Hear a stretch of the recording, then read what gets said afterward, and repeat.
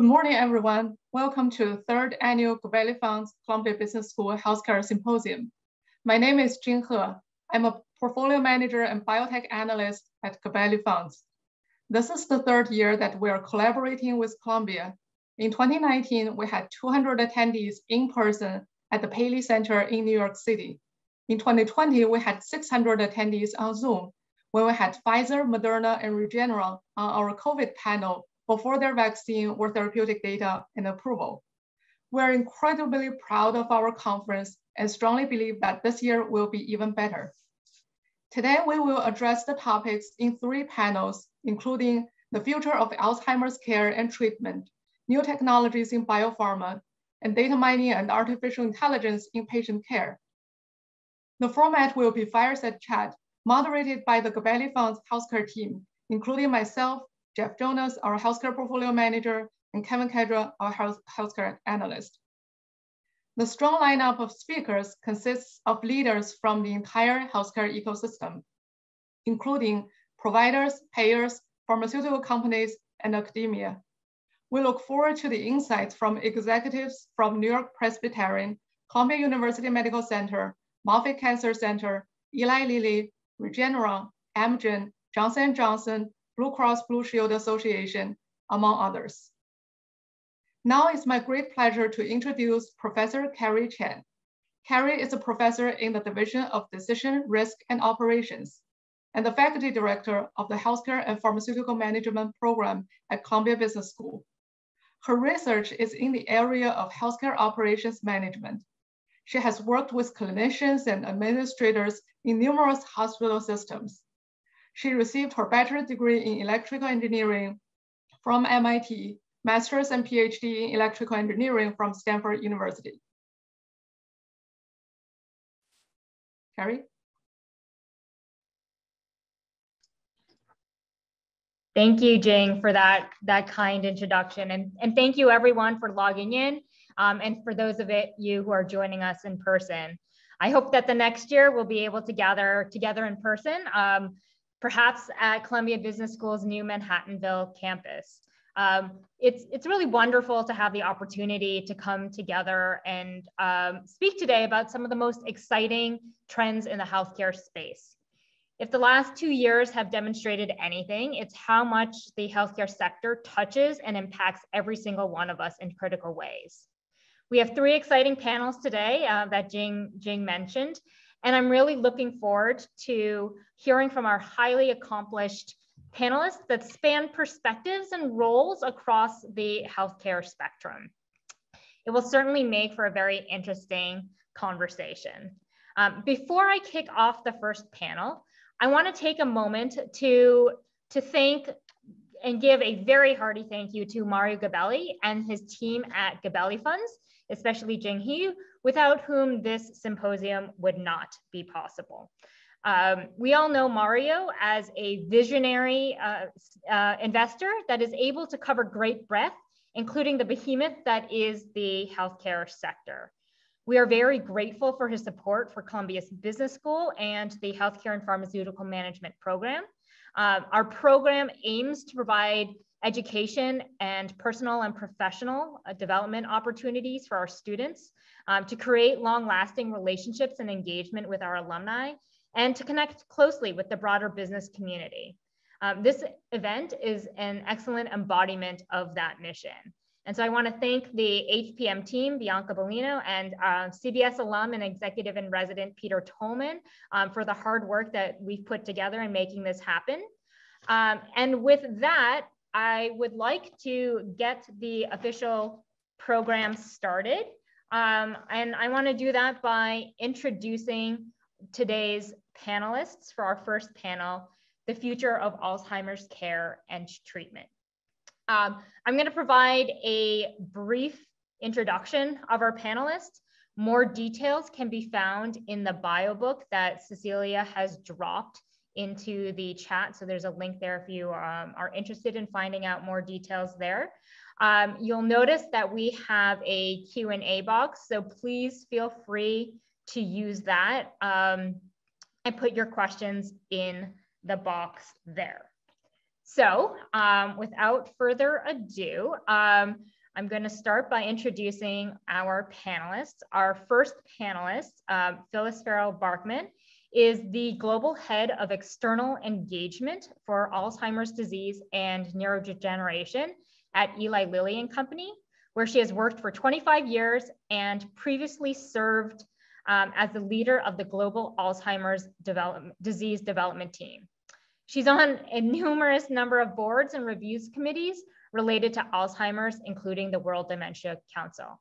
Um, so it's great to, to welcome uh, her today to speak with us. Um, our second panelist is Dr. Richard Mayeux, who is the chair of the Department of Neurology at Columbia University College of Physicians and Surgeons, and the neurologist in chief at New York Presbyterian Columbia University Medical uh, Center. Dr. Mayeux is also director of the Gertrude H. Sergievsky uh, Center, a center devoted to the epidemiologic investigation of neurological diseases, and co-director of the Taub Institute of, for Research on Alzheimer's disease and the aging brain at Columbia University Medical Center. So welcome, um, uh, Richard. Our third panelist, um, Dr. Adam Myers is a senior vice president and chief clinical transformation officer uh, for the Blue Cross Blue Shield Association. Um, in his role, he collaborates with the chief medical officers across 35 Blue Cross Blue Shield companies across the nation and leads the Office of Clinical Affairs um, and, the, uh, and the BCBS uh, Institute. Prior to joining the association in September 2021, so he, he just joined a couple of months ago, um, Dr. Myers served as the Cleveland Clinic's Chief of Population Health and Director of the Cleveland Clinic Community Care Program. So welcome. Um, and then uh, we have uh, our other panelist who I think is uh, trying to, to log on. He might be calling me Bianca. Um, he is a professor in the Department of Neuroscience at Columbia University and a principal investigator at the Zuckerman Mind Brain Behavior Institute. Um, so we are hoping that he will be able to um, log on as we resolve those technical issues. Um, and then last but not least, ah, Franck, you're here, wonderful. Um, throughout his career, um, Dr. Polleux has focused on the identification of the molecular mechanisms underlying um, neuronal development in the mammalian brain. His research has been recognized by numerous awards for their scientific contributions. And last but not least, uh, I am happy to introduce the moderator of our panel. Um, Kevin Kedra is a senior analyst at Gabelli Funds, uh, who focuses on pharmaceuticals, biotech, and animal health. He has served as a member of the healthcare team since joining the firm in 2005. So I'm really excited to um, have this um, panel get started.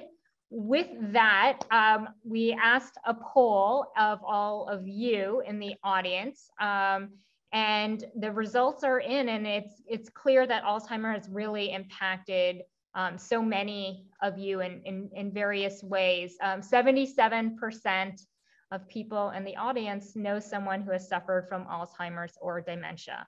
Um, so with that, um, I'm gonna hand the baton to Kevin um, and really looking forward to a interesting discussion. Thank you everyone for being here. Great, uh, thank you, Carri, and thank you all for joining us this morning. Um, I think as, as that poll shows, uh, we all recognize that Alzheimer's is a terrible neurodegenerative disease. It afflicts an estimated 6 million Americans and is the sixth leading cause of disease-related death in the US. Over the past 20 years, medical science has given us countless breakthroughs against cancer, diabetes, heart disease, just about every other leading cause of death, yet we've seen virtually nothing for Alzheimer's. So I'd like to lead off our discussion by exploring just why Alzheimer's has been such a difficult disease to address. And I'd like to begin with you, Phyllis. So why has the pharmaceutical, pharmaceutical industry struggled so much to find an effective drug for Alzheimer's? Has this been a function of the drugs themselves, the underlying targets mechanisms, or is it something more subtle like trial design? Hi, Kevin, and to the whole group. Um, Thanks for having me. Um, so having been in pharma 25 years, most of that in neuroscience, for the last 10 in Alzheimer's disease, clearly Alzheimer's disease has been um, a truly formidable enemy. You know, I think primarily the brain is the next frontier. And I know Dr. Mayeux knows that better than I do. So he'll probably speak to that a little bit. But what I can tell you from a drug developer's perspective, one of the biggest challenges is that we've been evaluating how to study the drugs at the same time we're studying the drugs. And this is kind of the big no no, right, in drug development. You should have a very clear drug design, inclusion exclusion criteria, target population. And so then you have a phase three protocol that you're just running drugs through to see if they're actually doing what they're supposed to do. But I think because the um, evolution of our understanding of this disease and the pathology has been moving at the same time as we were studying the disease. And the only endpoints that we used to be able to track were cognition, which were, um, and function, which were long, um, laborious studies. We really were actually studying the study design at the same time as we were studying the drugs. Uh, the beauty of where we are right now, which is why I think so many people are very, very hopeful um, and excited about where the science is, is uh, we've had a huge amount of progress in understanding the underlying disease. You know, it was only 10 years ago that we were actually able to see the amyloid pathology in the brain that before we had to wait for autopsy to see. And so, with the advent of some of these new biomarkers, imaging agents, now we're moving into new types of biomarkers we know that this pathology starts 10 to 20 years before symptoms. So those first uh, long phase three studies that we were running, where we didn't actually see that pathology as part of the inclusion criteria of the study, we were potentially studying people who didn't have this disease. Um, and maybe even studying them much too late in the disease. So I think what's really exciting for us right now is that we finally, with a couple of recent studies, one in particular, we actually have found a really nice study design that includes the, uh, the evolution of our understanding of the pathology. So now we can really test the drugs. Um, we're still going to evolve, obviously, in our knowledge of the disease, but just the progress in the last 10 years is huge. You know, the point of the, the evolution of our knowledge, uh, talked about it from the drug side, but from our understanding of brain biology, uh, Richard, where do you think we are in understanding the brain biology, what we need to understand to address Alzheimer's, and where are there still gaps in our knowledge? Well, um, I, I, tend to disagree with your opening statement about not much progress in the last 20 years. Actually, there's been a lot of progress in, in understanding how we develop this disease. Uh, I think there's uh, the breakthroughs came in the in the late 80s when we discovered that mutations in a in uh, the amyloid uh, producing uh, enzymes could lead to an early onset form of the disease that was inherited in a dominant fashion through families. And that gave us a clue that maybe late onset disease, which is much more common, uh, the 6 million that you were talking about, may also be genetically driven. And genes often lead to particular, have the particular advantage of they're there early, they interact with the environment, they, and they provide clues to the underlying molecular uh, mechanisms related to the disease. And I think if you were to ask a panel uh, five or six years ago, which, which, what happens in the brain, everybody would say, well, neurons or nerve cells drop out of the brain, there's atrophy, et cetera. And we've evolved because of genetics to say, well, there's a big immune component that we never really thought about. And that's very important. And the third leg of this stool is that it's probably not one disease. Uh, about 70, 80% of patients with Alzheimer's disease also have small vessel disease, blood vessel disease in their brains, not arteriosclerotic, not typical stroke related stuff, but they have microvascular disease, and that pathology has never been accounted for. And then another group, about 30%, have a different type of inclusion that's a sign of neurodegeneration. It's in something called a Lewy body, named after a, scientist named Louis many years ago. About a third of patients do. And this is another protein called alpha synuclein. Uh, and these, these patient groups are quite different. And uh, I don't think one drug is going to fit all. I think we're going to have to tailor it based on your genetic background. And hopefully, as uh, Phil has already alluded to, these early biomarkers will help us get the right patient into the right category so that we can start treating them effectively. So we have learned an awful lot. Uh, and I, I, would say the most exciting thing right now is the biomarkers. Uh, we've gone from brain scans, which are sort of a rough estimate of what's going on and probably too late. Uh, spinal fluid can be predictive, but you have to undergo a spinal tap to get that fluid. And plasma biomarkers have just come on board, and they're probably as equally effective as spinal fluid analyses are. And that will help us immensely identify patients before they're truly symptomatic. So you, you mentioned this is you know multiple diseases in, in one almost, and a lot of pathology to the disease.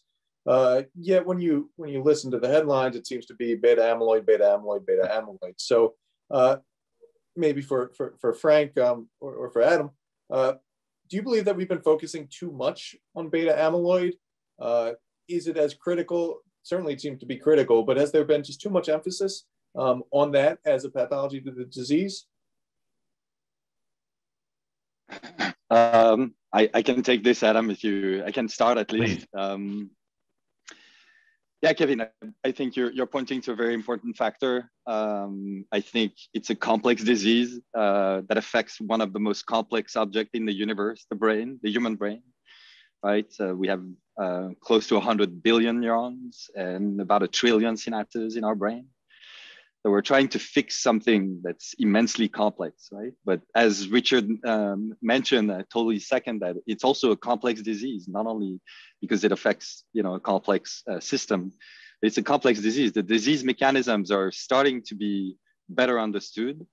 I think uh, because the amyloid beta uh, hypothesis was came first, I think uh, the field has focused more on that, but it's pretty clear that uh, there are multiple other uh, pathological agents, uh, including tau, of course, this uh, that forms those tangles.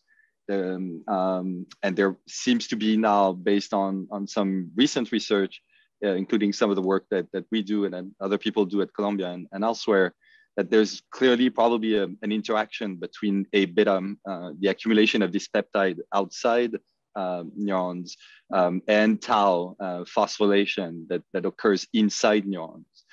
Um, but, but so those two culprits have received a lot of attention and I think um, has already translated into you know potential thera uh, therapeutic um, uh, agents and interventions.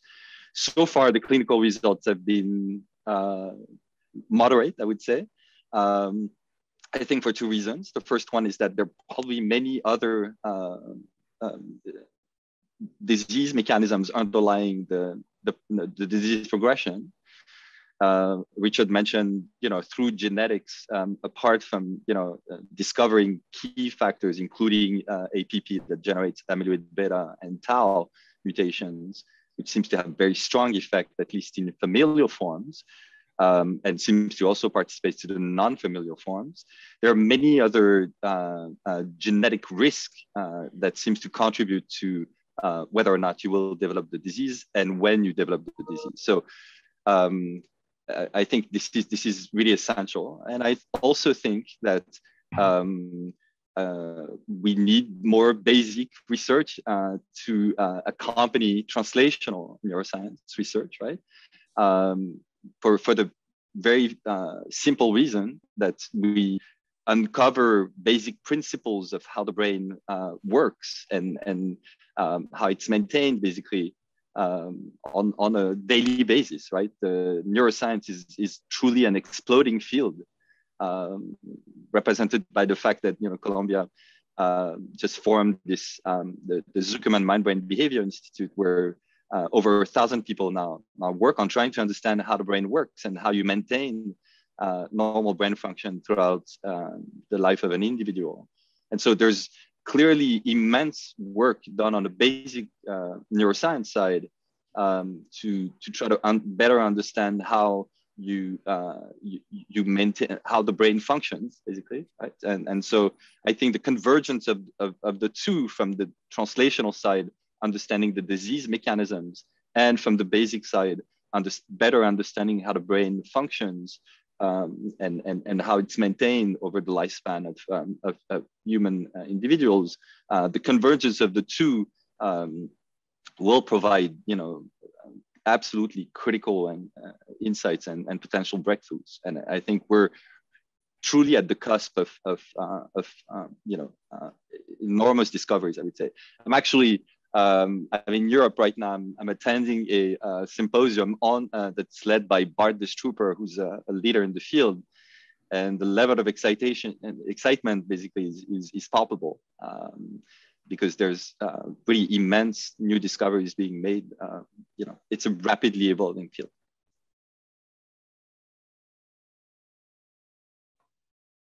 Sure. And Adam, uh, you know, also with, with, beta amyloid, we, have had an approval um, right. for a drug based on beta amyloid. Um, you know, from your viewpoint, one, do you think there's been too much focus there? And two, uh, do you believe insurers are going to reimburse a drug based on a biomarker like reduction in beta amyloid without seeing um, concrete clinical evidence of efficacy? Yeah, we as a society like simple answers. Uh, you know, we like we can visualize, you know, hammer and nail, force and effect. We can understand single cause virus with single cause disease. We can understand those types of things.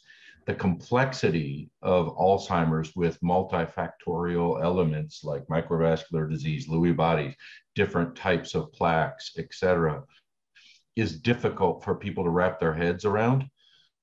Um, and to the degree that having beta amyloid as a proxy for the entire disease societally from an understanding standpoint has helped shed some light on the fact that this is treatable that that we are making progress. Then i'm to the extent that that that simplicity has allowed the dialogue to occur i'm fine with that from that perspective but from a from those who are leaning in to advance the treatment, it's it, it is not enough to just talk about the beta amyloid.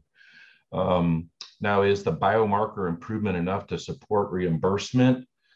Uh, you know, I I think it's it just depends. Part of it is depends on whether or not, and I'm going to just go larger scale than just Alzheimer's. For Alzheimer's, my personal bias is no for a couple of reasons, but uh, but it depends. If we're talking about a disease that we knew that those biomarkers and the treatment for them was one curable or that the treatment was significantly impactful at reversing outcomes and that the expense associated with that treatment was um, affordable or palatable societally and that uh, we we knew that uh, that uh, this would be accessible to people, then for, for, a disease that a biomarker was met those criteria, yeah, that potentially could be. But ultimately, at the end of the day,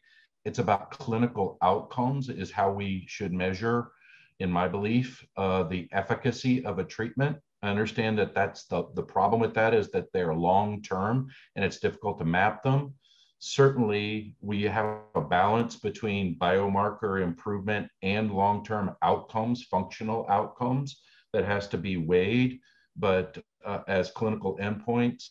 So I think ultimately it's a combination of both, but one without the other, I think is, is not sufficient unless we have an inkling that those biomarkers and or the treatment uh, directed at those biomarkers will be pretty consistently curative and affordable. Can I make a comment? Yeah, please. absolutely. Kevin, so uh, you know we're spending about 300 mil, 300 billion dollars a year taking care of patients with Alzheimer's disease, and I think it's pretty clear that these biomarkers are present and abnormal before people are symptomatic. Right. And uh, I guess the best and closest example is no one believe, you know, uh, high cholesterol does not cause stroke. Uh, it's a risk factor for stroke. And I would guess probably half the audience is on Lipitor already, okay, to prevent that. So if we can use the biomarkers to figure out a preventive strategy in people before they become symptomatic, then I think we have something to go on. And I think the biomarkers we're looking at now are just the beginning. They're going to get better. They're going to get more specific and better.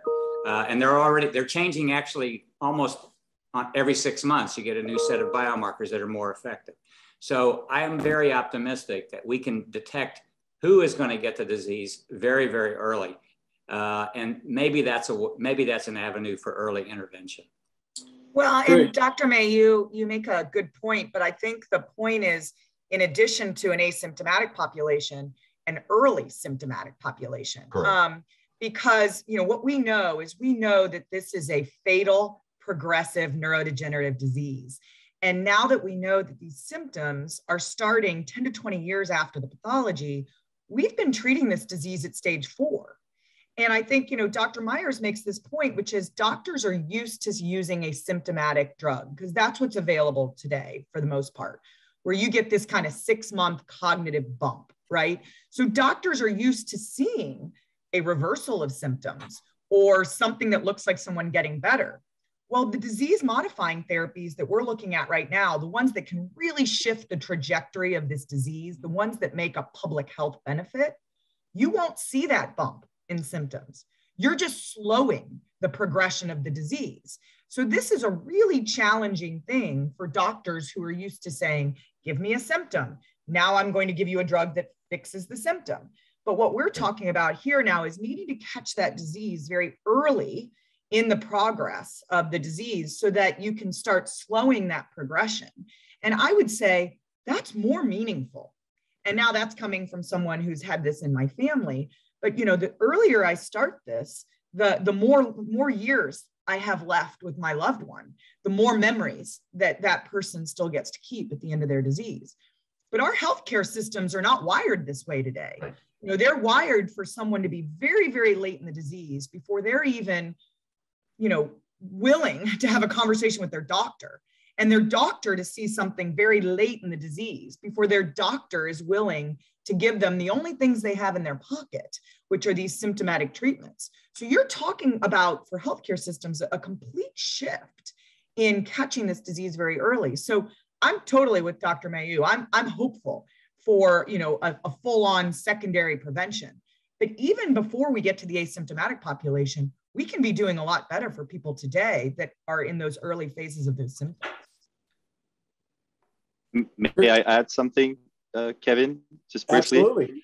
I think the identification of biomarkers that are truly predictive uh, to the uh, to, to, the outcome right, of whether or not people will develop uh, full AD during these 20, 10 to 20 years of when people are pre-symptomatic.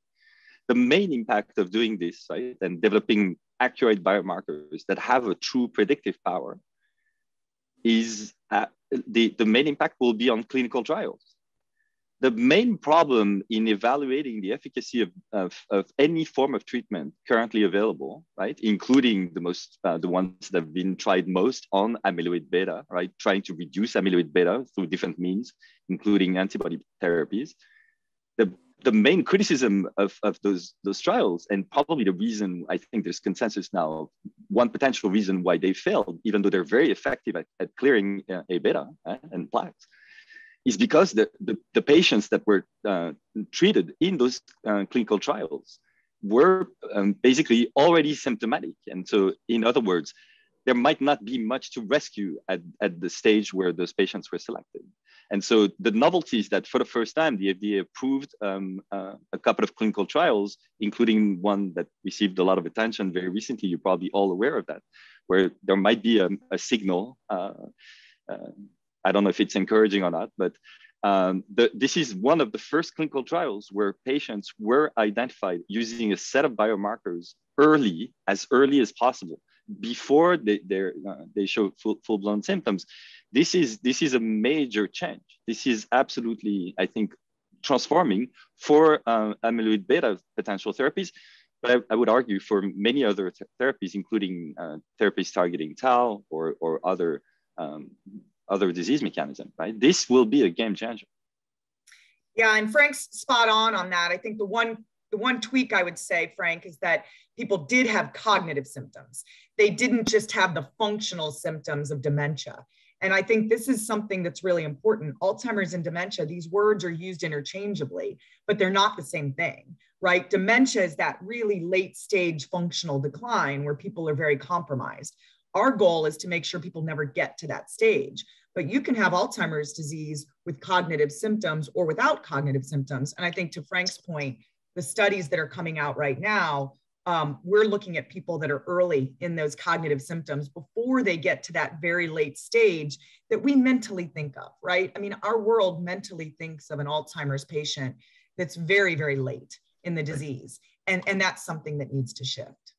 The one caveat I, I might highlight is that I think in order for us to really hang our hat on the biomarkers, we need to ensure that they are absolutely predictive of eventual pathophysiology uh, that impacts the functional. Uh, if you know, uh, otherwise we're treating a, a proxy that may not be absolutely predictive. So the progress that's being made in regard to that is quite quite hopeful from the standpoint of moving upstream to preventing uh, you know the the ultimate evolution of the disease may I add one last thing, and probably as an introduction to to uh, to Richard, who knows this much better than I do.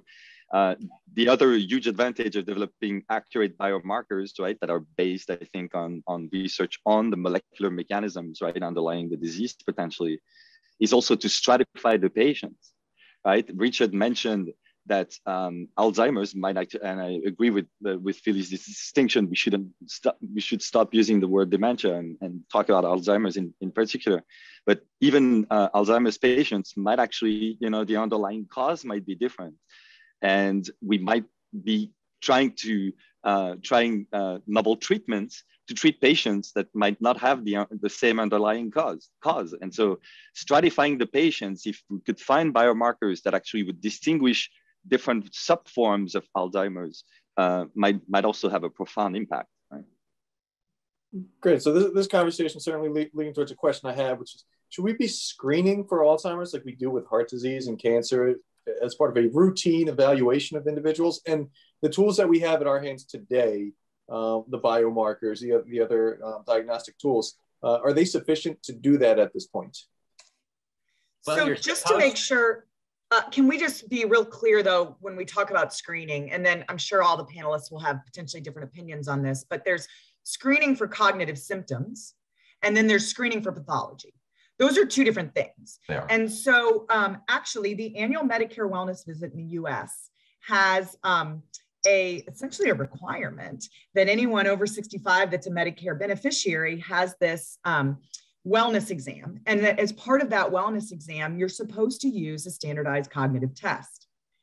That's just to identify these people with cognitive symptoms. And so, to the, all the points that they've made, that could be Alzheimer's, it could be Lewy body, it could be vascular dementia, it could be depression symptoms that are manifesting themselves as cognitive symptoms, which they often do in the elderly. And I think the challenge is in our country right now. I mean, we're a high resource country. That happens 4% of the time. 4% of people over 65 get that baseline cognitive assessment as essentially is required as part of that annual Medicare wellness exam. And to me, that's heartbreaking because not only does that take away that person's choice to participate in a clinical trial, right? Because they may then have their symptoms, you know, go too long before they're able to be qualified. And of course, that's something that's slowing down our research. But it also means we're not putting the support around those families for something that's a progressive disease and a very predictable progression. So I think we just need to make sure that we're we're real careful because I think sometimes we talk about screening and it gets into this idea of biomarkers and blood tests and and that's a different type of question than who are the people that are sitting in a doctor's office today struggling with cognitive symptoms and we're not doing everything we can to make their situation better. And there are things we can do for them today. So I just try to, whenever we talk about screening, I try to make sure we separate those two things because they may be, and they should be probably different types of answers. So Kevin, for the for the biological screening, uh, in addition in addition to what Phyllis is saying about the clinical screening, there are a couple things that have to happen. One is that the test has to be, as uh, Adam already said, it has to be very sensitive and highly specific. Uh, and there are different labs doing different antibody approaches, and that leads to some variability across the different laboratories. Now, there is an effort through the National Institute of Aging, National Institute of Health, which most of us are a part of, that is trying to harmonize the approach such that we get the same result in different labs. And the Europeans have done that for spinal fluid analysis of biomarkers, and the plasma biomarkers are just getting underway at the present time. The second thing is that uh, we have to be prepared to deal with the result. So if I have a positive biomarker, what am I going to tell a patient? Oh, by the way, you have a biomarker for Alzheimer's disease. Good luck. I can't do that. We, we, need, we need to sort of have, this needs to go in parallel with uh, some sort of treatment strategy. Uh, otherwise, you know, some people want to know, uh, other people, uh, it's very complicated to give them that kind of information without some way of uh, some sort of treatment or preventive strategy. So I think it's going in parallel. It's just going much slower than any of us like. I think it reminds me a little bit of Huntington's. Uh, you know, there's a, an element of we have a very clear biomarker for the eventuality of that disease that's highly specific, mm-hmm. highly sensitive, but people may not want to know because uh, our ability to impact the eventuality of that prognosis is really pretty pretty glum. Uh, so it's uh, I, I, think it's in that same category, and that's to a degree, not nearly as as definitive an outcome, but um, you know, I, I think there's an element of it that's similar to that that I think has uh, created um, an unwillingness for people to talk about this as a disease and might be even from a patient perspective do i want to know? And do i want to know before i'm actually exhibiting symptoms because then am i going to be viewed as a future invalid? Am i going to be discounted? Are my opinions my thoughts going to essentially be discounted from that point on uh, will i be viewed as disabled so there's a lot of societal layers to this secondary to our current inability to, dramatically impact the outcomes. And I'm hopeful that we can get to the point to where that stigma can lift because we're effective at treating the outcomes. I agree. The people that want to know are people who have it in their family. Uh, there's no resistance there. They're asymptomatic and they want to know what's my risk. Uh, and they're not afraid to, I mean, they want to plan. Uh, right if they know that they're in the, the fast track, they, will, they want to make a decision now about what to do about their life. But you're right about the regular garden variety individual. Uh, some of them go to 23andMe and they, they ask for, uh, you know, they, they go in thinking they're going to just get ancestry, but then they are tempted to go ahead and look for disease. And when it comes up with, you know, an ApoE4 allele or something like that, they're panicked and I would say in my, the seven neurologists here to see these patients, I would say 10% of the people we see are people that have a positive ApoE4 analysis and they don't know what to do. They're panicked. Right. I do think there's some neat things happening that started out of the Karolinska with the FINGER study and Mia Kivipelto and are now being replicated around the world uh, with the help of the Alzheimer's Association that are looking at some um, risk reduction lifestyle modifications. And I do think that for those folks that have this in their family, for those folks that are already health seeking and motivated, um, there are some amazing things and good data coming out that you can do to, uh, to make yourself more resilient if this disease comes for you. You'll never blueberry your way out of Alzheimer's disease. And we should never blame a patient for, um, for conducting this disease or uh, having this disease. But we do know that these, uh, there's about seven or eight behaviors that you can, I think it's eight, that you can do that will make a difference in how your body responds if this disease comes for you. And um, I think that's really, really a public health mindset for us because they also happen to be the same behaviors that we need to tackle for heart disease and diabetes and other metabolic disorders. So it's it's really, you know, Alzheimer's disease is the most feared disease in the world, more than cancer, even in the US. And if that motivates people to take better care of their health and there's spillover benefit into um, other NCDs, that's something that we should be taking advantage of as a population. Great, Phil, that's a great point. Um, you know, I, I, think when people think about treatment for Alzheimer's, everyone wants to jump to, you know, it's a therapeutic treatment, and there are a lot of different ways that we can um, attack this disease, uh, you know, especially early uh, within the onset. So uh, maybe it'd be good to go around around the group, uh, and maybe we'll start with start with you, Franck. Uh, where do you see the most promising opportunities over the next five years? Um, you know, five to ten years in terms of new biologic targets, technologies, or approaches to Alzheimer's that you believe are going to create the biggest beneficial difference in patients' lives? I would say, I would say there, there, there are two angles that seem to me uh, incredibly promising uh, from the understanding the basic mechanisms, the underlying mechanisms.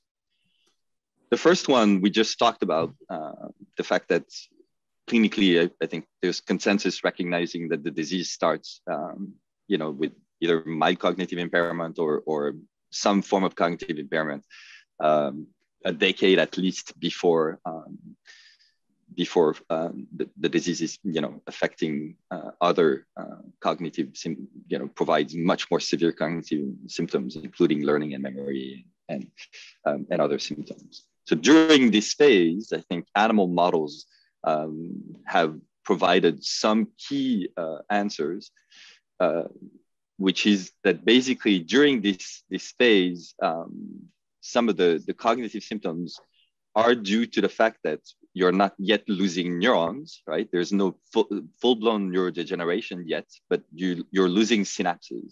Circuits in your brain, especially in the hippocampus and associated circuits, um, lose connections. Those neurons get disconnected. And so there's tremendous um, efforts right now to understand what are the molecular mechanisms underlying synaptic loss during this early pre-symptomatic phase. I think this is the most exciting, um, um, one of the most exciting area of research right now, and and and the field is moving very fast. Uh, it's actually hard to keep up with uh, with the level of, um, of, of progress on on that side. So that that to me is one of the most exciting area, and we're actively you know participating to this. The second avenue, there's clearly um, uh, an, another key component of the disease progression, at least at the cellular level, is the function of non-neuronal cells in the brain, including microglial cells. They're the only cell type in your brain that are um, that are uh, uh, immune immune competent. They're they're the immune cells of your brain, and there's um, emerging evidence suggesting that microglial cells dysregulation of microglial cell function um, plays a plays a role in the disease progression and and again at those very early stages when um, when I think it would be most efficacious to um, to, to intervene with uh, therapeutic um, treatments. So the function of those of microglial cells, especially in uh, synaptic loss, right, in loss of uh, synaptic connections between neurons, um, is a is a, also a, um, a, um, an incredibly active area of research right now, which is actually interestingly corroborated with some uh, genetic risk factors that people have identified um, that seems to affect genes specifically uh, expressed and uh, playing important function in microglial cells. So those to me are the two of the most uh, interesting and, and, emerging area of, um, of, of, research on, uh, on the disease mechanism. Great, Franck. What about you, Adam?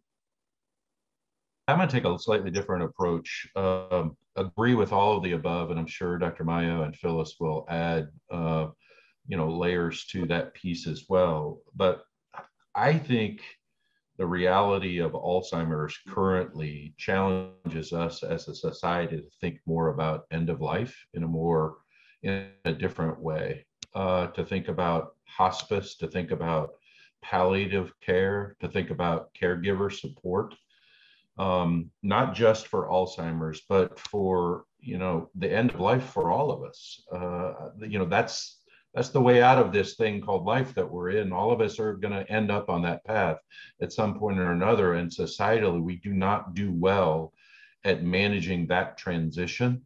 So I, I am hopeful that the conversation around Alzheimer's can obviously move upstream toward prevention, can move you know to the to the eventual identifiable sensitive and specific biomarkers that we can learn to intervene on and prevent the uh, the disease. But until then, and then even after then, not everyone is going to be fortunate enough to avail themselves of those treatments. Until then, I think we have a, an opportunity to do a far better job of managing end of life uh, with people and emphasizing palliative care. Yeah, and it's definitely something I think gets overlooked a lot in these conversations. Phyllis, what about for you? Well, so what am I excited about? Actually, I'm going to uh, build on a question that's in the chat from uh, Lori about precision medicine. You know, I think what I'm really excited about um, in this field is we've gone from, and as Adam said, this, you know, dementia, late life kind of old, uh, very, very late stage patient to now knowing uh, that there's a pathological component to this. And the more we understand the pathology, the more we start to be able to differentiate what these different causes of dementia are, you know, whether it's Alzheimer's, vascular, et cetera. And so Lori asked the question about precision medicine. To me, that's what we're doing.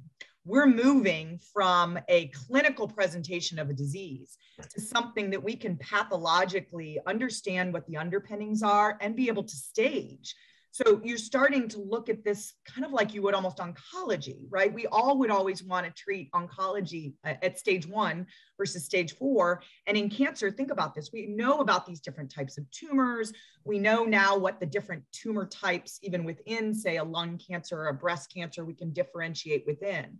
And so I'm excited because we're really moving from what was kind of seen as a late, you know, how many times have you heard old timers? Or just normal aging or this is just something that happens, which is just an ageism and a stigma causing way of thinking about this disease, to something that's a pathological disease that we can now stage and really treat with precision medicine. And, and I think that's a huge benefit to what Dr. Myers was saying about how we think about ourselves as we age and how we think about others as we age. Because when you tell somebody that there's pathology in their brain um, that's causing these symptoms, they're no longer weak.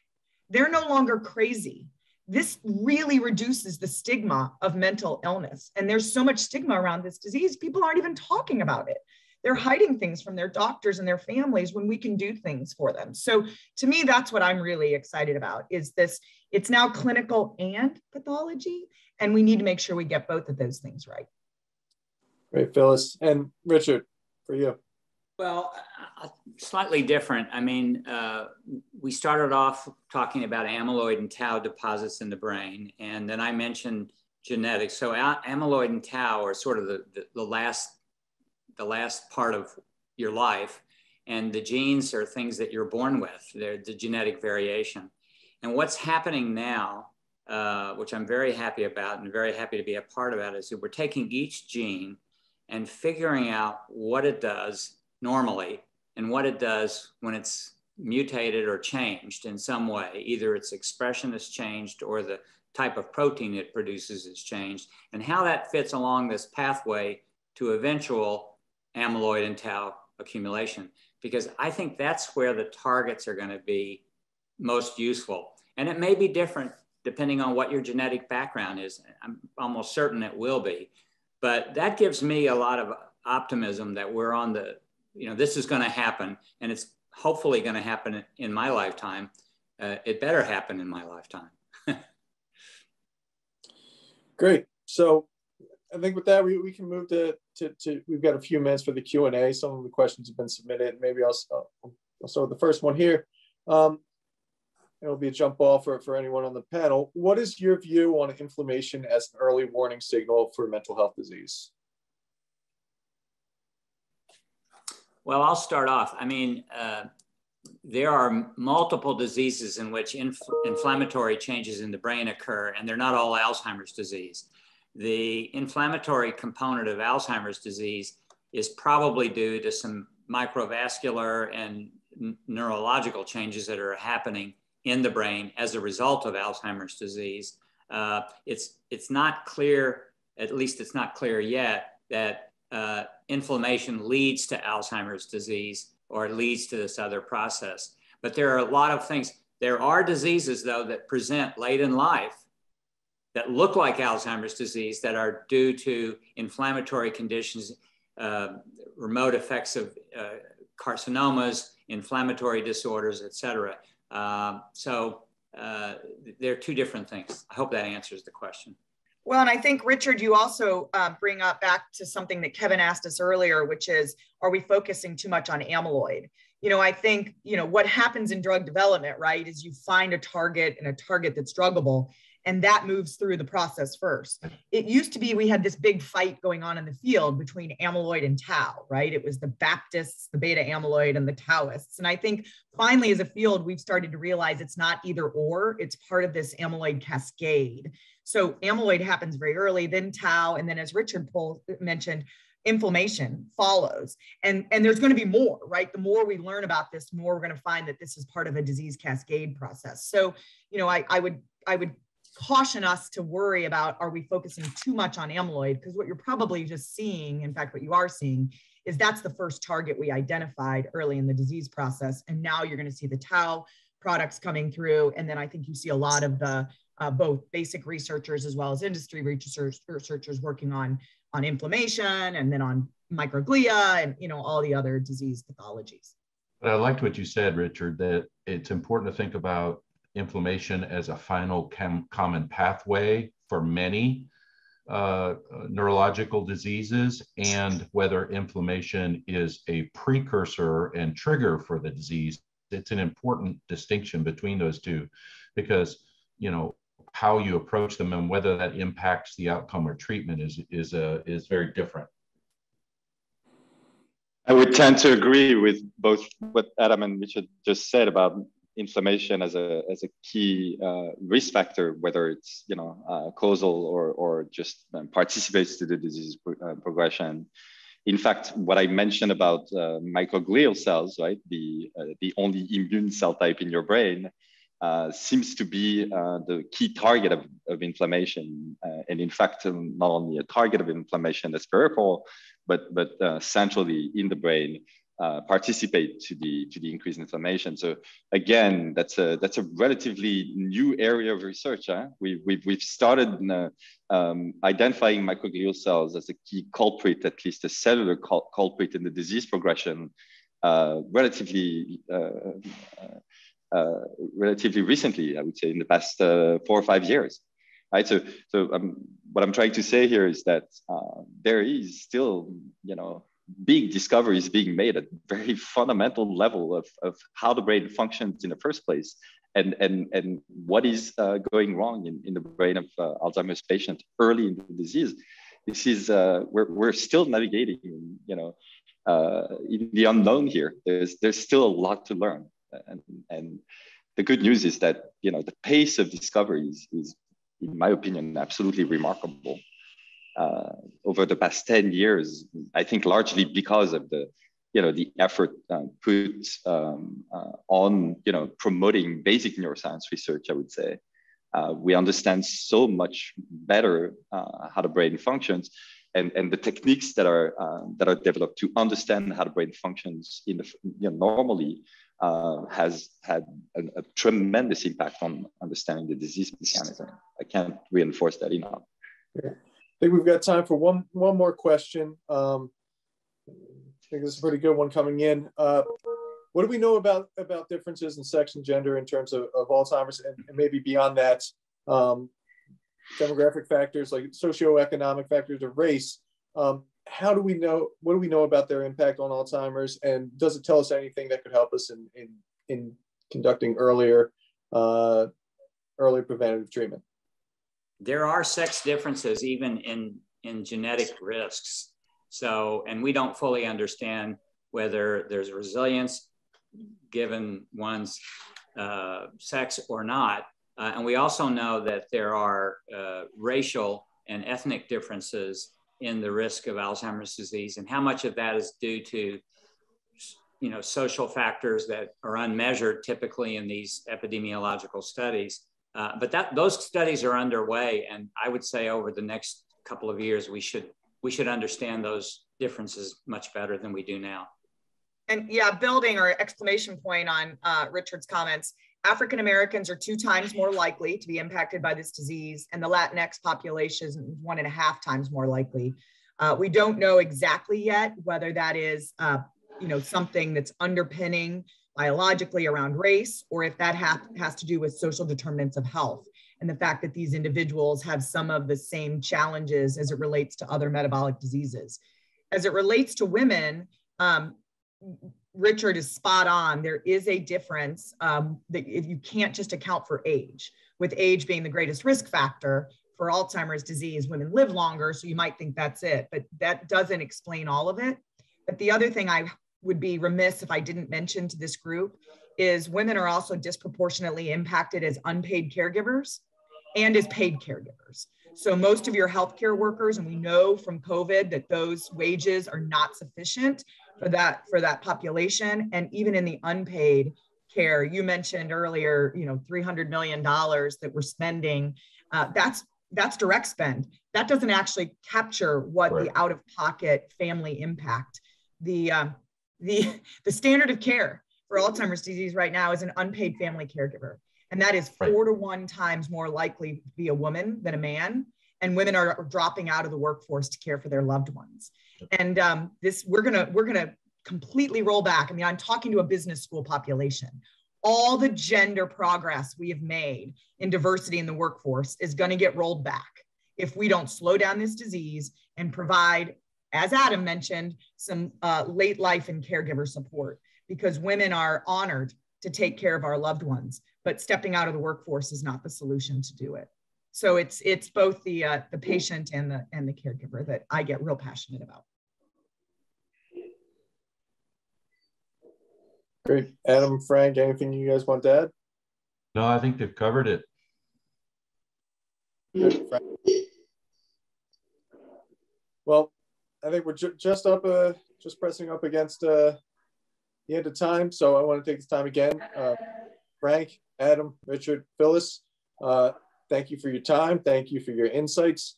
Um, it's been a pleasure moderating this panel. It's been incredibly informative for me. I hope likewise it has been for, for the audience. And uh, I believe with that, I think we, we're going to be moving on to uh, a break ahead, a short break ahead of the uh, next panel. So thank, thank you, you, Kevin, everyone. and to the thank whole you. team. Yeah, Bye, guys. Bye. Thank you. Thank you, all of you. What a wonderful discussion. So we are going to take a 10 minute break and we will start again promptly at 1010 um, and look forward to seeing all of you back in a, a little bit. Welcome back, everybody. Uh, it was really wonderful to have such a, an engaging conversation in the, the last panel and, and talking about ways that uh, Alzheimer's care and treatment will be conducted in, in the future. Um, and the potential of scientific advancements is certainly on theme with our second panel um, on new technologies and biopharma.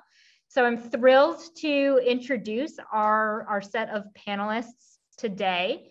Uh, so first, um, Dr. Joseph Elsell is a senior medical director in oncology medical affairs at Regeneron Pharmaceuticals, where he leads activities for both the non-melanoma skin cancer and cervical cancer indications. He has also spent time with the Pharmaceutical Manufacturers Association, where he led the development of biologics and biosimilars policy and advocacy positions on US and international regulatory pathways, patents, data exclusivity, access, and other um, user fee agreements.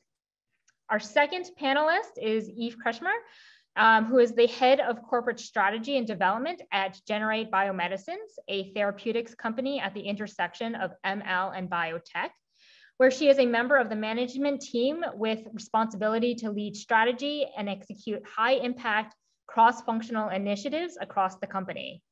She previously led strategy and transformation at Bluebird Bio.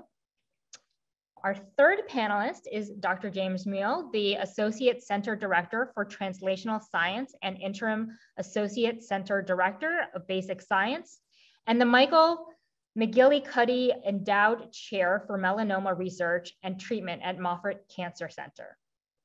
Dr. Mulé serves on advisory boards of numerous biotechnology and pharmaceutical companies and is also a special government employee to the FDA and NCI. Our fourth panelist is Dr. Ryan Potts, um, who is the executive director and head of the induced proximity platform at Amgen that focuses on drug discovery for disease targets that are currently viewed as undruggable. Prior to his time at Amgen, Dr. Potts was an associate professor in the Department of Cell and Molecular Biology at St. Jude's Children's Research Hospital. And then our fifth panelist is Dr. Bing Wang, who is the CEO of Refuge, a company he co-founded following nearly a decade of life science investment banking experience.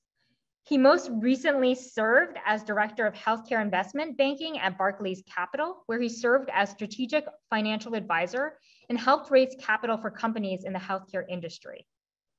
Dr. Wang, a cancer survivor who is passionate about bringing forth smarter medicines that will transform cancer care.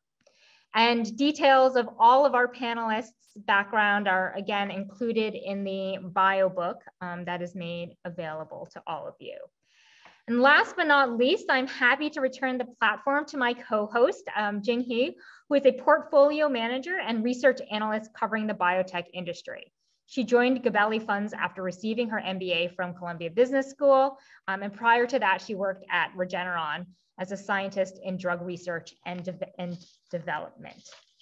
So just as a reminder, please feel free to use the Q&A box to um, ask your questions to the panelists. We'll have 10 minutes at the end for that.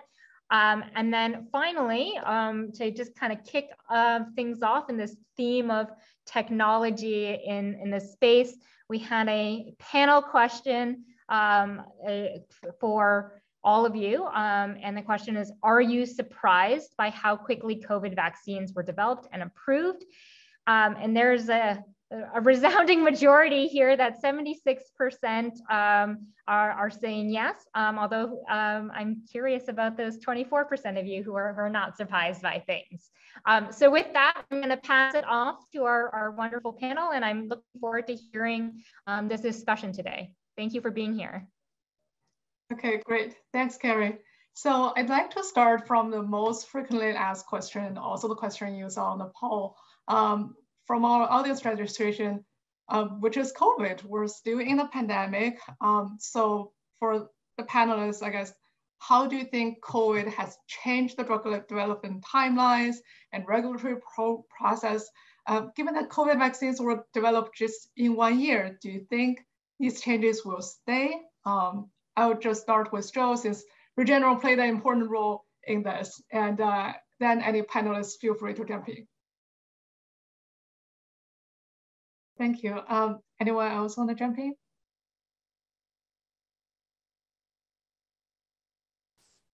Okay, um, I guess now let's move on to cell therapy. Uh, we have seen it on the news constantly. We have seen T cell therapy, NK cell therapy, CRISPR last year that won the Nobel Prize.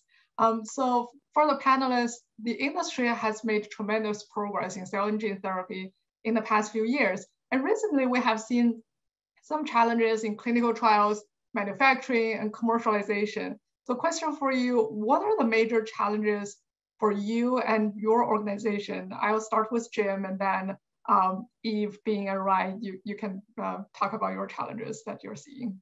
All right, thanks, Jing. Um, well, you know, I think uh, there are a couple of challenges. The first is we're living uh, in an environment now where many cancer patients have received checkpoint uh, checkpoint blockade therapy. And uh, when they fail, which they often do, um, you know, we are left with a patient population that's very challenging. And, uh, uh, and uh, that's the reality. And uh, many of these uh, cell-based therapies that have been developed haven't been challenged yet to that degree, especially with solid tumors. I think with CAR T, with hematologic malignancies, it's very encouraging but with solid tumors, that's the real challenge. And, and again, uh, the patient population has changed. Uh, you know, we, as you pointed out, there are a number of uh, cell-based therapies that are being developed um, uh, using macrophages, using uh, PMNs, using NK cells, uh, T cells, and, and so forth.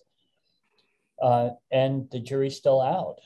I mean, it, I certainly haven't seen uh, compelling evidence of, uh, at least in the CAR T space, of, of compelling clinical responses in solid tumors, um, except uh, for tumor infiltrating lymphocytes. I think there's real promise there. Uh, the other challenge, of course, is vectors, and uh, we'll get, I believe we'll get into this later but the availability of having uh, vectors for CAR T or TCR, or for that matter, uh, genetically engineering cells to, to either make them far more potent in the tumor environment or resist uh, elements in the tumor microenvironment that shut them down. Uh, you know, there are companies out there that are developing non-viral methodologies, which uh, it, which is certainly which are certainly encouraging, but we're still left in the, certainly in the near future with with viral vectors. Um, so manufacturing of viral vectors, getting in the queue, uh, everybody needs them, everybody wants them, is, uh, I think is a challenge for all of us. And I would just layer on there. I mean, I think as Jim was mentioning, the manufacturing process, the duration of getting cells to patients in time, the complexity of that process and the costs associated with it. You know, I think lessons learned, a lot of companies in this space have to be really thoughtful about COGS, um, both in order to manage their own businesses, but also to enable pricing that is um, not so far out of bounds and ensure access to great patient populations that are really in need. Um, you know, there's there's innovative partnerships out there with companies that are trying to think differently about manufacturing, you know, elevate the resiliences of the world. And so I think what we'll see over time is the paradigm shifting um, because it's expensive to own your own manufacturing facilities as a small company. And so the more that we can look for innovative ways to partner uh, that will help everybody in the system. Um, and I think you're seeing a lot of that. I think the other piece is just a, an interesting dynamic on a regulatory front. Um, you know, the, the cell and gene therapies are extremely promising, but a little bit scary. And so the way of thinking about the regulatory pathway when you have a really innovative product and trying to think differently about uh, ways to get those those assets to market without slowing them down too much while adhering to the highest standards of, of safety and efficacy i think is important. And there's a lot of good movement with the regulatory agencies there and an interest to drive that forward but i think that is something that's been a challenge for most companies in this space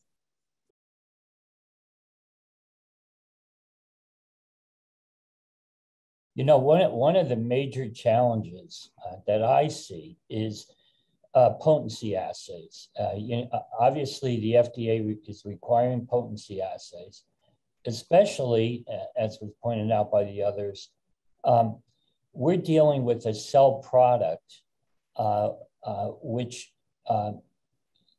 is, is quite variable between patients. And, you know, the standardization is a little bit difficult. Um, each patient is very different. Um, so, and you've seen this, I, I think you've heard about it more than once. Companies have a problem if they do not start their potency assay early. And uh, that is a crucial part of the manufacturing process and characterization is to lock down what the potency assay is going to be. Thanks, Jim. Uh, Bing, do you want to jump in? Yeah, I echo a lot of points that Jim made. I think a key part is, is your patient population, um, especially for some of the hemonc patients, or even potentially at some point, say for breast cancer, a lot of the patients who would get uh, the cell therapy first have gone through cycles of chemo or other immunotherapy. So not only are the fact that they're just in worse shape, but their their T cells or NK cells, whatever you're trying to modify, is just not the same as some you know healthy 22 year old. So I think and that factors into the potency assay point he was making as well. So I think that's absolutely critical in terms of how you think about how do you design your trials and you know your strategy in terms of well, this is going to start as a fourth line therapy, and how are you going to get that to second line therapy, for example, which is traditionally the path for small molecule and large molecule. For, for cell therapy, that that's a very different strategy. And then from the manufacturing perspective, one of the things that people don't think about for cell therapy is, is cold chain logistics. I mean, when we have to deal with it for the first time, it's it's it, we didn't even know it was a thing. For example, when we started, right? You know, you have a patient, for example, somewhere in California, and then you need to extract their T cell through leukapheresis, but you need to find a way to freeze it and send it to Philadelphia for manufacturing and then bring it back. You know, that is not something that traditional drug maker have to you know deal with. You know, potentially if we were to do clinical trials in place like Moffitt or MD Anderson, you know, the manufacturing and the patient population could be in the same vicinity. But once you start to go to larger phase three trials, for example, that just becomes more difficult. And not to mention what happens to, to do it commercially. That's a really good point. So I guess we mentioned manufacturing challenges over there and definitely some changes on the regulatory front. Um, I want to uh, move forward to the reimbursement and then we come back to that. I think some of you have mentioned. Um, so let's talk about the elephant in the room, drug pricing. We have seen 200,000 for innovative oncology drugs, 400,000 for T cell therapy, and one to two million of price tag for gene therapy. So how do we pay fair price to incentivize innovation and in the meantime, not bankrupt the healthcare system? Um, I would like to hear uh, all the panelists on this because this is such an important issue. So maybe maybe I can start. Um, so Jing, the other issue is what the the cost of what treatments those patients receive prior to getting a cell-based therapy. Uh, it's enormous. Uh, when you think uh, either they've had targeted drugs, uh, they've had um, you know BRAF inhibitors in the setting of melanoma. Uh, they they blew through uh, checkpoint antibody therapy. Uh, and now they're left with uh, receiving cell-based therapies, which, as you pointed out, in, and of itself is expensive. But when you look at the entirety of the therapeutic um, uh, efforts that have been made in each given patient, uh, the cost, uh, you know, obviously escalates dramatically. Um, I certainly don't have an answer. And what we're also seeing is triple combinations uh, of therapeutics, uh, the cost of that. Um, you know, my view is uh, uh until the, uh, you know, the, the Fed step in, uh, you know, it's going to be status quo as far as I can see. I think one one key point to make there is, um, as you think about pricing, you could have a big pharma going to the insurance company and say, "Look, use our cell therapy you know, this is um, this is curative. So you might say five years on some, you know, a drug that could cost 100, 150,000 dollars a year. So therefore, you should pay us for that five years of savings. But the insurance company can come right back and say, well, okay, well, why don't you do a trial of five years and show me that, and then we'll talk about that type of logic, right? So obviously there's some back and forth in there on the compromise, but that that is the type of pricing you know debate a sponsor would have for the insurance company, where you know you're not going to fully get the value that you think you, you provide because first of all to do that study would be you know cost prohibitive from both a financial and time perspective. I think the second point on that is, you know, right now you'll make more money on a hundred thousand dollar small molecule cancer drug than a five hundred thousand dollar cell therapy the margins on the cell therapy is just not there. You know, just the, the virus, getting the lentivirus itself will, will, will kill most of your margin. So, you know, we also have to think about what, you know, the margins for the sponsors.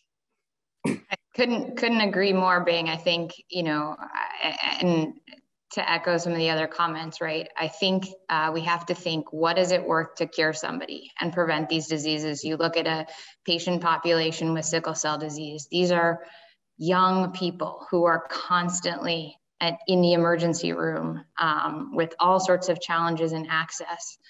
And I think part of the challenges in pricing is we're looking at the wrong metrics, not always, but sometimes, right? We have to be thinking about assets that are one time with curative intent differently than a typical product. And we have to think that you know there has to be an openness of the assessment of the lifetime cost of a disease like sickle cell disease when you're when you're going through that negotiating process knowing again that the margins, as you said, are, are not are not high because of the COGS challenges in manufacturing. So it's not to say that all drugs are warranted at high prices, just that that you know curative therapy, therapies, I think will um, and are forcing us to rethink the underlying methodology for assessment of, of what's reasonable in, in pricing. Great. Uh, Ryan, do you want to jump in? Nothing more for me.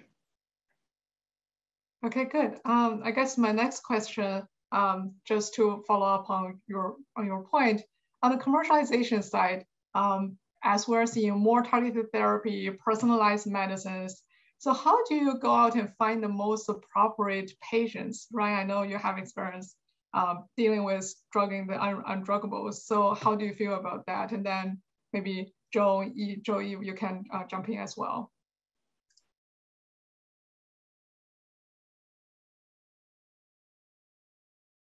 Yeah, you know, I think what we need too is we need to expand networks of, uh, you know, in the oncology space. Uh, for instance, ORIEN is one example, but there are others uh, where you have turnkey.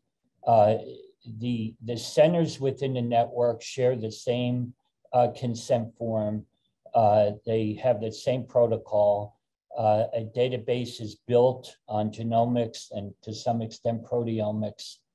Uh, uh, it, but all this requires a, a, a database that um, can, can handle uh, the amount of information that is, you know, basically user friendly amongst the network sites. But the, the you know, the, the beauty of that is that at any given time, you have a substantial number of patients that are already characterized uh, genomically, uh, you know what treatments they've already received, the tumor type, and so forth. Uh, and so when uh, you know when the need is there to to open up a trial with a you know with a certain patient population, uh, it should be turnkey. Uh, we're not there yet. Uh, but certainly, you know, that's where I think uh, there will be great value in lowering some of the cost also. Obviously, you don't want to put a patient on the trial that's not going to respond. So. That's a really good point. Go ahead.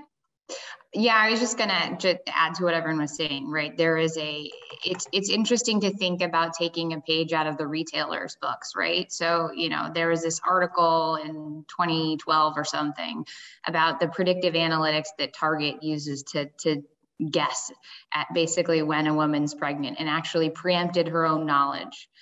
And I think it's interesting to see the pharma industry and biotech sort of catching up to that, but slow at a slower rate, right? So there's so much we can do harnessing the power of data, leveraging it across an ecosystem, including claims data and all sorts of information that's out there and, and leveraging, I think, AI, machine learning, and other types of predictive analytics to be thoughtful and proactive about how we not only find patients, but make sure that they're on the best therapies for them at the time they need them, right? And that is, I think, something that I hope is pushed also by the by the pandemic in some ways, because it's accelerated the rate at which we are comfortable doing those things. Um, you know, running um, clinical trials uh, a, in a totally different way because you're not having people sign up for 12 pieces of paper in a hospital, right? They're doing it online. And so there's, I, I think there's a huge momentum there that we can capitalize on to really change the way we think about finding those patients. Great, thanks, Eve. Um, you guys all have mentioned manufacturing, the challenges there, and how you have been tackling that. Um, I guess recently the launch of some cell therapies get delayed due to the shortage of viral vector. You touch on that as well. Um, some biotech companies are building manufacturing even before entering the clinic, others using third party contract manufacturing. So how can we be better prepared when we launch a, such a complicated treatment? Um, I'll start from Jim. I know you've done a ton of work in this, and then I'll move on to Bing and Eve. Maybe you can talk about upstream, downstream. You know, it's a, it's it's a real issue, and uh, you know, there's a lot of frustration there. You know, as as a as a cancer center, um, we developed our own uh, significant GMP facility for cell manufacturing. Um, uh, we also uh, got board approval uh, about six months ago to set up our own viral vector facility, which is in process now. Uh, because in reality, uh, the cell manufacturing is going, uh, in my view, very well. The, and again, the problem is getting access to vectors. And, and uh, until, until non-viral vector uh, shows its worth in in uh, in cells, uh, we're we're going to be stuck with this for a while. But but again, I think we're going to see more individual sites developing their own manufacturing capacity and not being held hostage uh, by um, external firms that have a, a long lead time to get into the queue.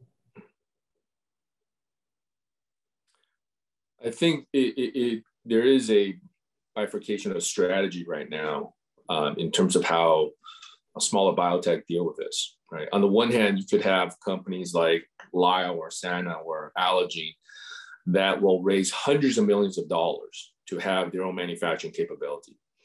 But on the other hand, and, and, and Eve alluded to this as well, you have the Elevate Bio and the Resiliences world, where they're trying to create almost like a TSMC in semiconductors, but for, for, for cell therapy and where smaller companies can actually outsource significant portion of the whole development. You know, it's not just CMO, it's CDMO, contract development manufacturing organization, to, to these entities and then pay them for it.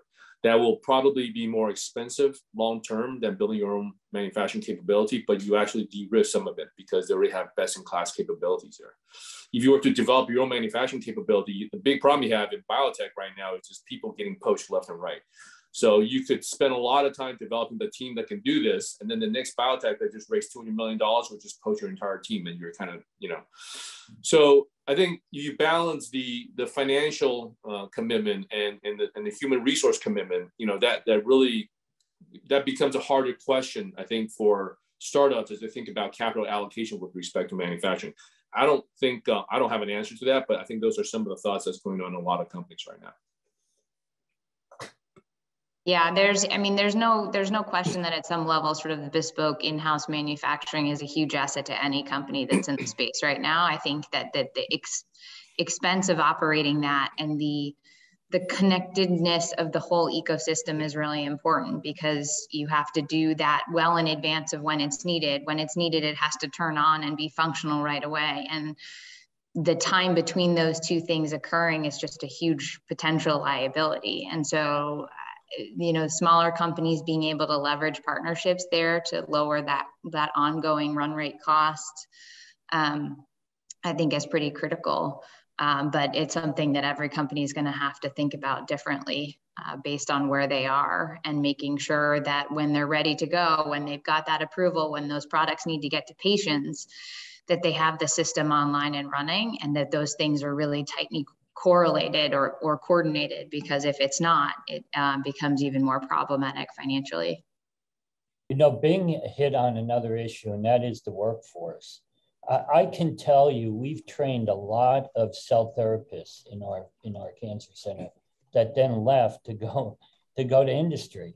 uh, and that's what we're always challenged with. But we, you know, we and others are linking up with universities and uh, and community colleges uh, to work on curricula for uh, for specific uh, training of, of students uh, in this space.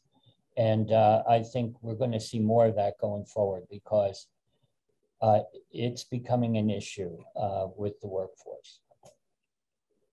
Thanks, Jim. Um, my next question, um, I guess broadly, what type of technology or innovation are you most excited about in the next five to 10 years? I think I'll start with Ryan and Joe here because we talk about challenges in cell therapy and Amgen and Regeneron might have been through all these a decade ago. So how do you feel about innovation in small molecules and biologics today?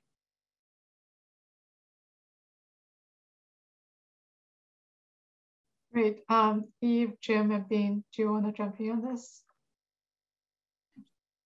Sure. I'll, I'll throw in a, a as a segue maybe to your next panel, but um, kind of AI, machine learning, and computing power, right? I, I think that it's um, just going to usher in a new era of drug development. We have to think about and invest in truly disruptive innovation in order to move the needle in a big way. Um, and I think a lot of that comes down to um, you know different ways of finding new targets. Certainly generate as a company that believes that you know we will be able to generate um, therapeutics as opposed to discover them through trial and error. Um, and that if you deploy machine learning at scale um, there's a lot of ways that we can radically change the drug development process and, and, and democratize therapeutics as a result of that. And so I think this this wave of data and the computing power and the understanding that we have scientifically in different areas is all going to come together um, pretty pretty amazingly in the next um, five to ten years, and we should uh, take advantage of that. So that's what I'm looking forward to seeing. Obviously, I'm a little biased based on my current role, but um, I think that's going to be a, a fun a fun area of the industry to watch. Great. Um, so now we're, uh, we have nine minutes, so I'll take one question from the audience. From Angel, I think this is a really good question. Um, will there ever be a biosimilar to cell and gene therapy to improve patient access? If so, what makes a product to be considered as biosimilar? What will be the analytical characterization be conducted? I think he or she is definitely thinking about 10, 20 years ahead, but would love to hear your hear your thoughts. I never, if I could start, um, I, I never thought of that question before. But if I were to think um, just on my feet, what that would look like, I think it would uh, biosimilar be on the, on the vector level. So if there's an approved product using a particular lentivirus, and you can show that this lentivirus is similar, uh, because the cells come from the patient, at least from a autologous therapy. Then it goes to Jim's earlier point is what is a potency assay? So if you can have a biosimilar, well, called vector similar, um, uh, that's based on an approved product for cell therapy, and you can show through a potency assay, as Jim highlighted earlier, of the approved product, uh, potentially then that that would be the argument you would make on, on using a biosimilar for, for cell therapy. But again, I'm literally just coming up with that right now.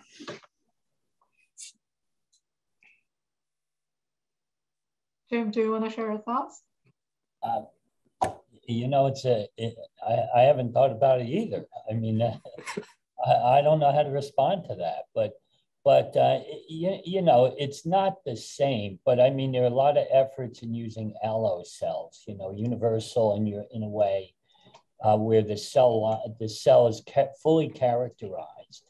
Uh, and then, as Bing points out, you can use a fully characterized vector in an, in an allo setting with uh, potentially a universal patient cell, uh, you know, uh, that's been CRISPRed in ways that are not recognized. But um, eh, yeah, I really haven't thought about it. That's a really good point. Uh, I have another uh, related question from the audience. When do you think you can we can expect these technologies to be mainstream. I guess that's whether being off the shelf that we talk about or drug the undruggables. I know Amgen has one approved, but then we have more down the road. Or as Eve mentioned, machine learning, AI. Um, when I guess from a timeline standpoint, if you look at the crystal ball that you have, when do you think we'll, we'll, we'll be like using it more broadly? I, you know, I think you can look at CD19 CARs as as one uh, sort of mainstream now in in uh, certainly in B cell lymphomas. Uh, it's gone to the outpatient setting now, and more and more centers are opening up to deliver CAR T. Uh, and you know, it's almost in record pace when you consider the first approval. You know, Novartis and and and Kite uh, it's really, uh, it's really, uh, um, you know, it's how you define mainstream. But, but I think you know, given its its uh, therapeutic potency, uh, it's becoming more mainstream, in my opinion. Point. Ryan, how do you feel? Thank you. And Eve, do you want to close for us? Oh boy, don't put the weight of closing on my shoulders. Yeah, no, I mean, I, I think it's right. I think, you know, certainly at Generate, we believe that we can, we have built a platform that can not only improve certain aspects of, of, of known antibodies and proteins, but actually in silico create de novo um, uh, computer designed biotherapeutics to treat any disease, right? And that is that is the promise, right? Um, and that I think is where we have to hope that we can all go because the world that we understand today scientifically is so different. It's just a microcosm of what could the potential out there, right? And so the ability to leverage other platforms, data, machine learning, AI, to understand more and explore more the parts of the, the world that we haven't gotten into to treat these intractable diseases and and overall help patients i mean that's that's the dream right? So certainly that's where i spend most of my time trying to trying to move us forward. Um, but i think it's a collective effort right? It's not going to be without the traditional collaborations with large pharma companies. It's not going to be without innovative partnerships with cdmos and manufacturing right? So it's it's the ecosystem continuing to work together. And I think COVID has given us a great example of, of that we can do that, right? We can index on speed. We can work together differently when we have a common, you know, quote unquote enemy that is a virus. And we can really solve, uh, solve some of these big diseases for the world at large for the betterment of, of humanity. Wonderful. That, that's a great closing and leading into our next panel, which is AI and machine learning at 1110. So thank you, Joe, Eve, Jim, Ryan, and Bing for your insights. We learned so much. We'll take a short break, um, 10 minutes before the next panel at 11.10. All right, welcome back, everybody. Uh, I've been so energized by the discussions that have taken place uh, in the last two panels, and I'm really excited to dive into another interesting discussion here today. Um, this one is on data mining and artificial intelligence in patient care. Uh, this is an area that is personally very near and dear to my heart, as this is what I focus my own research on. Um, so I'm really thrilled to be able to introduce our panelists now.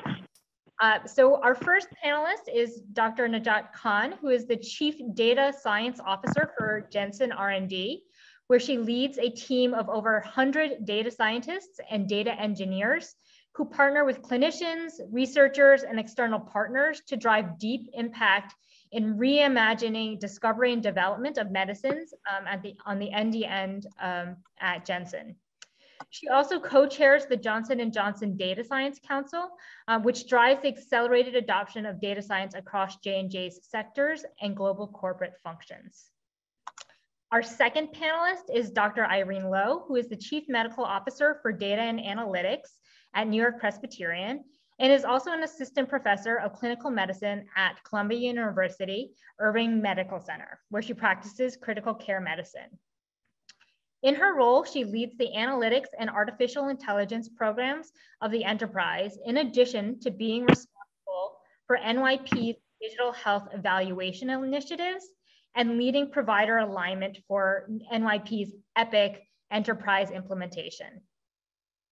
Our third panelist is Dr. Jeff Monzer, who is the Vice President of Product at Qventus, which is focused on taking modern technologies and principles um, that have been proven in other industries, you know, using artificial intelligence, machine learning, behavioral science, and data science, and applying them to healthcare operations.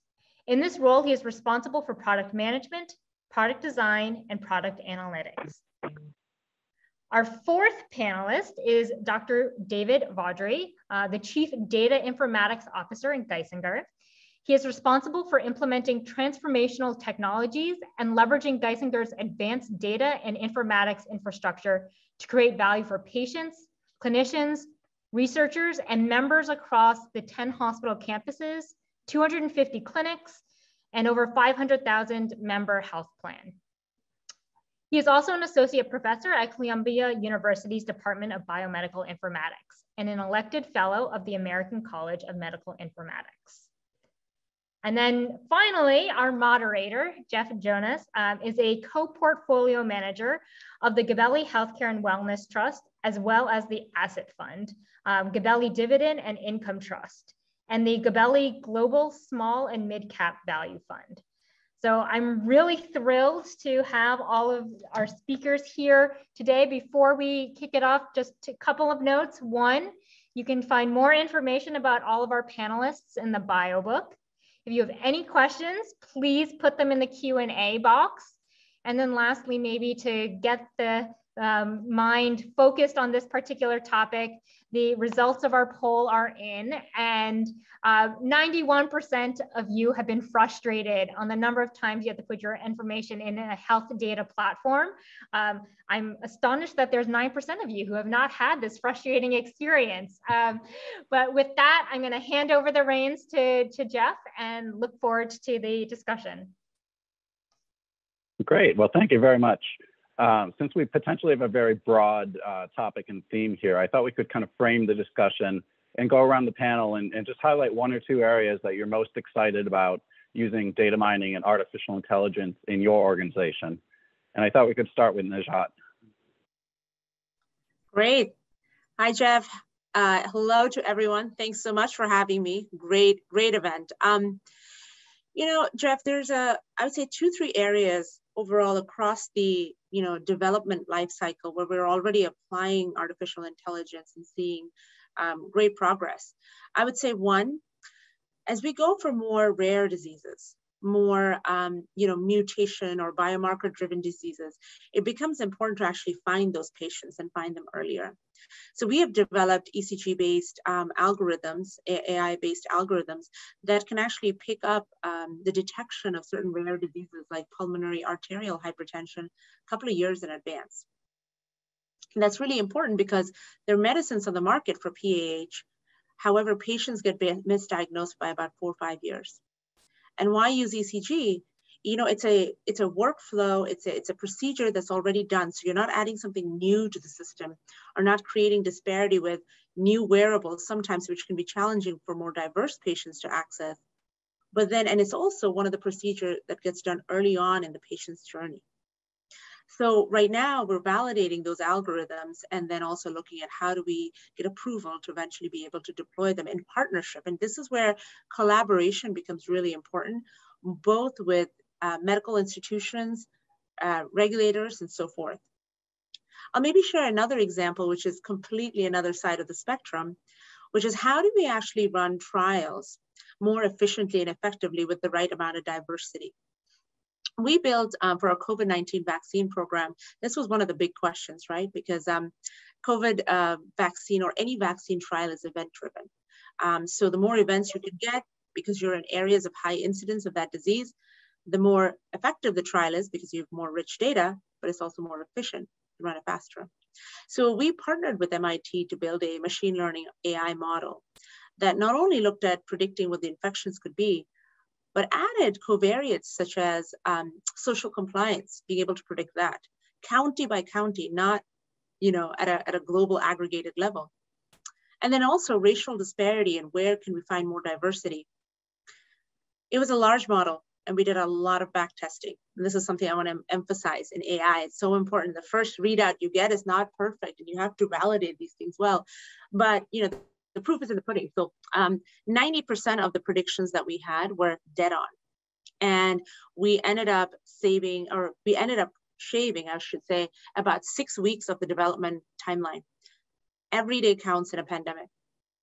And this was mm-hmm. a global model. So this is why we went to Brazil, we went to South Africa, we went to Argentina, the US, etc., because we followed the data. It wasn't, we didn't follow our preference of where we have gone before. And we also had one of the most diverse trials um, because of the fact that if you start with data and try to over-index in going places where there is more diversity, couple that with good operational excellence, you can actually get that.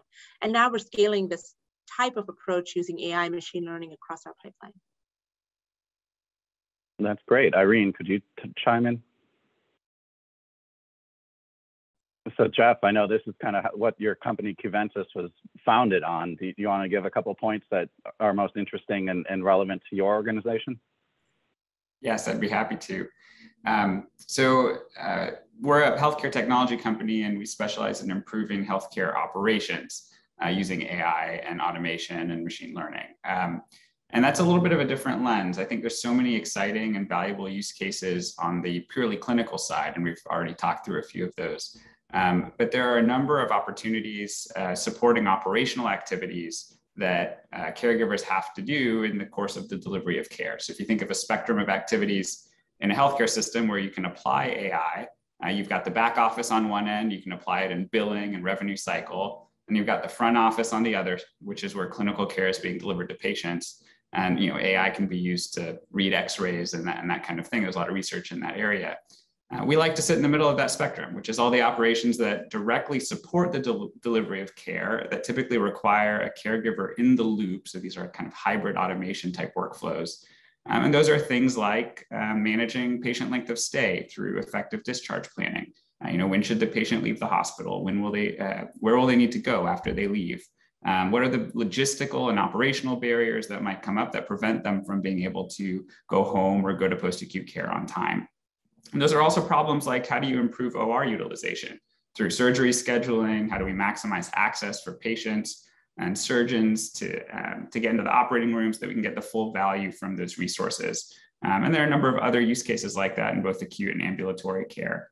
Um, and so that, you know, the reason that we focus on that is that our thesis is that we believe that one of the primary constraints preventing our healthcare system in the US from achieving its potential is the operations that go around the delivery of care. We already have world-class caregivers, world-class medicines, therapies, equipment, um, but we don't yet have consistent world-class operations to support that delivery of care.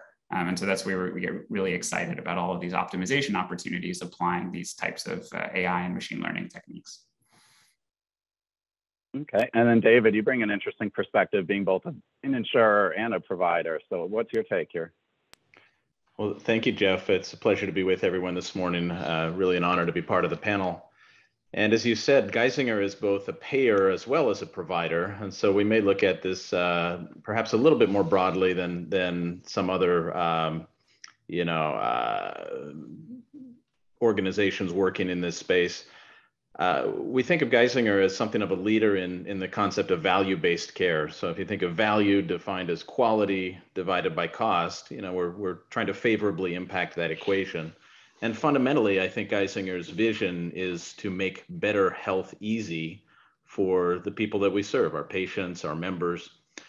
And when I look at, you know, at the spectrum of artificial intelligence in healthcare, um, this goes back decades, but I, I would posit that there has been an awful lot of hype, especially in recent years, and maybe not a lot uh, to show for it. Um, now, my colleagues on the panel may or may not agree with that statement, but I think we've seen a lot of investment and and fairly little return on that investment. Maybe you know uh, we're still waiting. Maybe it will come. Uh, you know, but I, I think for me, and our approach at Geisinger is to be a little bit more pragmatic, perhaps, than than we have been in the past and really ask, you know, where can these technologies benefit uh, our patients and our members and our providers? And um, if you allow me to really simplify it, you know, for us, it's around population health management and getting the right service to the right person at the right time. So, uh, and, and candidly, the artificial intelligence, the machine learning, the data science behind that is is the easy part. You know, the translation is the difficulty.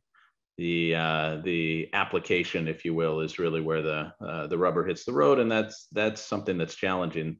The AI can give us a prioritized list of whom to reach out to first, but it, in by and large, hasn't been successful in accomplishing the type of outreach that's needed. A lot of that is still relying on human um, intervention and, and can't be fully automated. Well, one of the areas I've been really interested in has been, you know, wearables like watches and Fitbits, and also connected devices like wireless glucose meters, scales, blood pressure cuffs. And there's been some interesting business models around it too, from Omada Health or Livongo.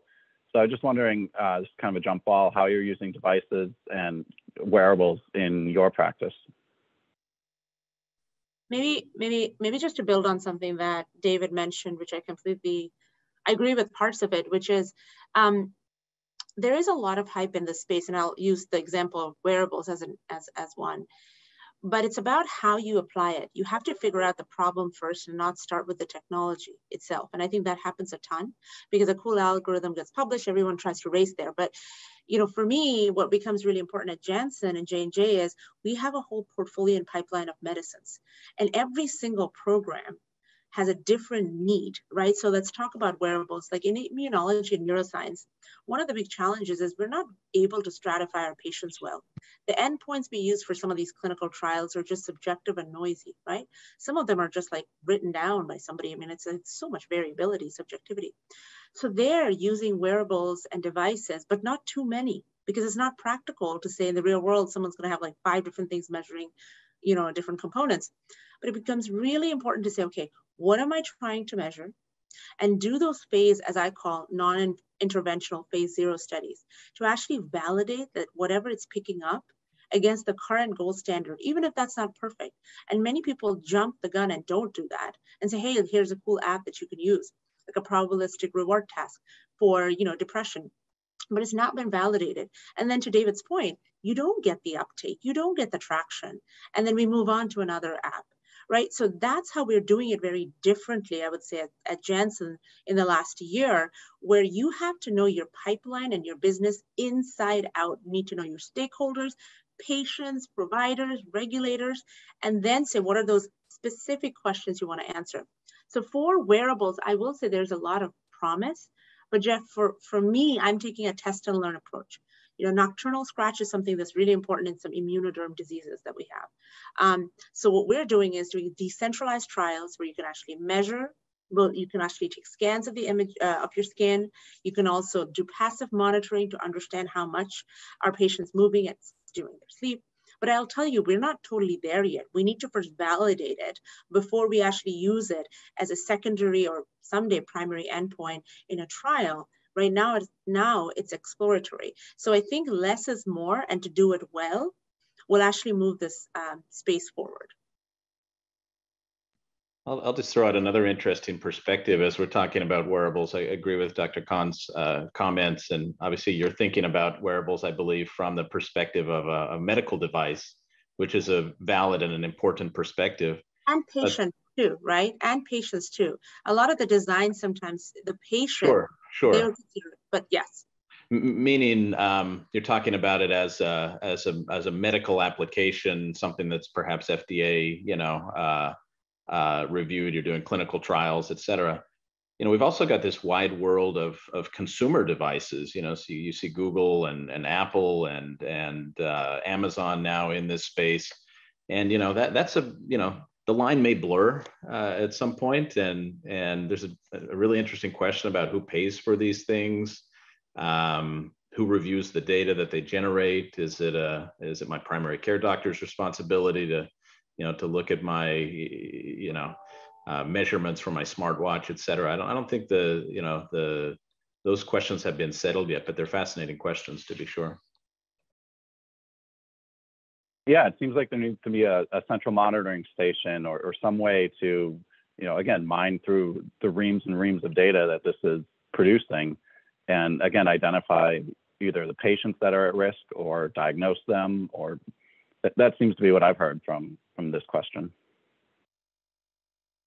Uh, I guess, you know, one of the other things that we touched on earlier is disparities in health and whether that's based on gender or sex or race or even geographies around the world. So I guess I'm wondering how your organizations are using technology to kind of address that. I don't want to be the first person to jump in, but I'm happy to. Um, okay, uh, so, you know, I think that's a really, really important point. And I just want to preface that by saying the number of times I've sat in conferences where people have said only 4% of the, you know, eligible trials, uh, patients get uh, enrolled in a trial. And I think there's two, three ways of going about it. Number one, in many cases, we are in diseases that disproportionately affect uh, those with, you know, minorities and, and, and, and others, right? Racial diversity first of all, it's important that even when you're doing the research, forget about clinical trials, right? Figuring out what's the biomarker, what are the subpopulation, that we actually have data we start with that's representative. And that's actually difficult to get because we don't in the US have a beautiful longitudinal, I'm thinking like Norway or Sweden, cradle to grave, like longitudinal multimodal uh, data set for patients. And I think that's something we need to push for. It's a little bit aspirational. So what do you do in the meantime? I think I'll give you a couple of examples.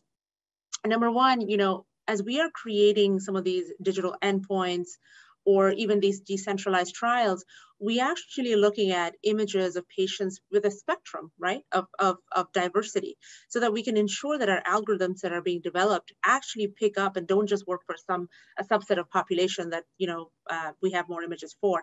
Super, super important to do that. That your data set and your algorithms are generalizable, right, um, in, in that space, because then you develop appropriate endpoints that are not biased against um, certain population. The other thing I also mentioned um, in terms of our clinical trials and when we're running them and then eventually having access for patients, we're using a lot of real world data. And just so Jeff, I'm expanding a little bit from AI to also talk about real world data, that's okay, to ensure mm. that we are not just going to, and David Geisinger is great, but we're not just going to like the large academic medical centers to find patients for our trials and then access, but we're actually looking at it just where are the patients that are eligible for this therapy? And you know what we found? In a lot of diseases, we found like 60 80% of the patients are not in these large academic medical centers, although that was our initial hypothesis, right? And then what we found is further is in that 60 to 80%, they are much more over-indexed in terms of being diverse because they're going to community clinics, right? These different areas that we don't have great footprint. So it requires investment from our side to actually ensure we have trial sites and then commercially also access to these diverse patients and put the right investment behind it. But I just want to say that, you know, sometimes people ask me data science can do things faster. I say yes, but the value generation is where it actually makes a huge difference. It's not by accident that our vaccine trial had so much diversity, right? Higher than census numbers. It's not by accident. You can use AI, RWE for good and actually ensure that the intent is where it starts. That's what I mean by the question, to have more diverse patients and population actually happens. And the last thing I'll say, take decentralized trial right? Why do you think a lot of diverse patients don't end up in trials? Because of the burden of taking a whole day off to go to a center and to do these procedures. I mean, so let's use AI for good, right? If we can actually create better endpoints so they don't have to come in, or like David was saying, sometimes it's just the operational ground game, right? Why don't we get nurses to go to them versus them having to come in? Or offer like, you know, transportation support. So it goes beyond even just AI, but these are the kinds of like aspects we can use to actually in like what I say level the playing field in terms of who can enroll in trial and who can get access to medicines. Yeah, I love your term ground game. So I'm wondering how our two providers are uh, executing on that. I, I, can, I can start on that. Uh, it's a very interesting question about how artificial intelligence can um, hopefully mitigate, um, help reduce health disparities. Um, you know, one of the, the great examples of doing the opposite, unfortunately, you know, was published a couple of years ago. I'm sure is well familiar to many in the audience, where um, an algorithm used by a large payer was preferentially um, allocating care to a white population as compared to a, a black or brown population that um, you know, seems unconscionable, like reprehensible. Like, how could your algorithm be, you know, blatantly racist? And as you unpack the details behind that, well, the algorithm, you know, did what the algorithm does. It's sort of blind. Um, uh, race, in fact, wasn't even included as a as an input into the algorithm. But what was was the historical cost of care. And if you're sort of inferring that the historical cost of someone's care predicts their future need, and then you understand that the cost of care for Black or Brown communities was lower historically than a white population. And now your algorithm is suggesting that white people need a greater degree of care than, uh, than your minority Black or Brown communities. Like that's how those sorts of things happen. So the first thing we have to do is make sure we're measuring and mitigating bias in our own algorithms. But another angle of this that I'd love to, to, to speak about for a moment or two, because I know it's a pervasive problem everywhere, um, is the challenge of even measuring accurately the different characteristics that we know are important to uh, to understand disparities in the first place. You know, when you look at large data sets around the country, you know, race and ethnicity is not collected accurately, maybe only 60% of the time. Um, and even less things like preferred language or veteran status or sexual gender minority uh, status. Um, we don't often look at, at urban, rural uh, types of uh, disparities as well. So measuring these types of things uh, is really critical and, and something we still have a lot of work to do before we can get to the point where we uh, you know, can really measure true disparities. We've got to measure the characteristics that, uh, that you know, are associated with those disparities. And I just Irene's point is such an important one because, you know, sometimes people will say, what's the big thing that AI can change? But I think all the examples that we're talking about is super important practical problems you can solve. You don't have to wait for the perfect data to be created, but you got to be cognizant of the limitations and therefore how you can apply it. But I think I just wanted to call that out because it's not going to be this like big headline. We need to move away from that and actually solve problems that really exist. Yeah, and I'll well, echo. we touched on elect. Oh. I was Go just ahead, going to yeah, I'll, I'll echo uh, each of Najat, David, and Irene. Uh, I, I, think each of those are critically important points. The foundation has to be there um, uh, from a data perspective to be able to do post processing of that data in a thoughtful way that doesn't perpetuate disparities. But at the same time, there are things that we can be doing right out the gate um, that are helping to address those. And I think each of each of us have highlighted some of those. Um, I'll just speak really quickly on the machine learning side specifically um, it is a place where you have to be quite careful. You know, um, David brought up a great example. These models require data to train on, and if there are disparities in the underlying data and the way that different patient populations have been treated in the past, then any machine learning algorithm has the risk of perpetuating that kind of disparity in the types of recommendations that it makes. So, both from a data collection, uh, training, feature engineering, um, and model governance perspective, I think to be responsible in the way that you're delivering that, you need to be thinking about each of the steps of model delivery um, and making sure that you're measuring each of the possible areas uh, that bias could have been introduced. And then proactively, both in the technology, but also in the way that that gets manifested to end users, uh, making sure that you have the controls in place to ensure that you're not propagating or, or exacerbating that kind of problem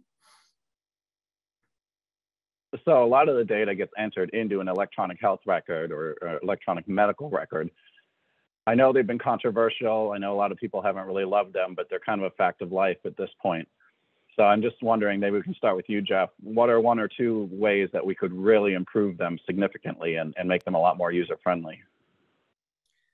Yeah, it's a very interesting uh, question, and I'll bring the lens of um, uh, uh, you know technology uh, healthcare technology company that sits in the ecosystem that is both dependent on um, and in some cases limited by uh, the capabilities of electronic medical records.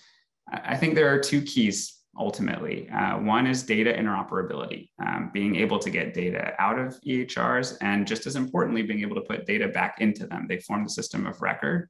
Um, they have an entrenched position in uh, our healthcare landscape. Um, and as a result, uh, there's a lot of control that they can exert over the ability to add uh, new innovation uh, into the ecosystem. And that, in order to do that well, you need to be able to get data out, put data back in with minimal friction. the other piece that I think um, sometimes gets a little bit overlooked uh, is application interoperability as well. Um, the reality is that most clinicians are in the electronic medical record system uh, for the majority of their day. Uh, and there still isn't sufficient flexibility uh, provided by EMRs to give health systems the ability to let third parties meet those clinicians seamlessly in the context of those workflows. Um, I will say there have been some strides recently toward both of these, but, but there's a lot of work still to do. You know, it's, it's that dichotomy of EHRs have unlocked a, a, wave of new innovation by creating that digital data substrate on which others can build. But on the other hand, they've dampened innovation as well via the amount of control that they exert over the market and the friction in those two domains of interoperability that have been created. So ultimately, I think it's really important for the innovation landscape around healthcare IT that consumer and regulatory and health system pressure on EHRs to be interoperability minded continues. Um, because I think that potential um, uh, it unlocks a lot of additional value creation in the U.S. health system um, if we are able to uh, create an environment where those types of interoperability are, are a lot more frictionless. And do our providers have any feedback on the EMRs?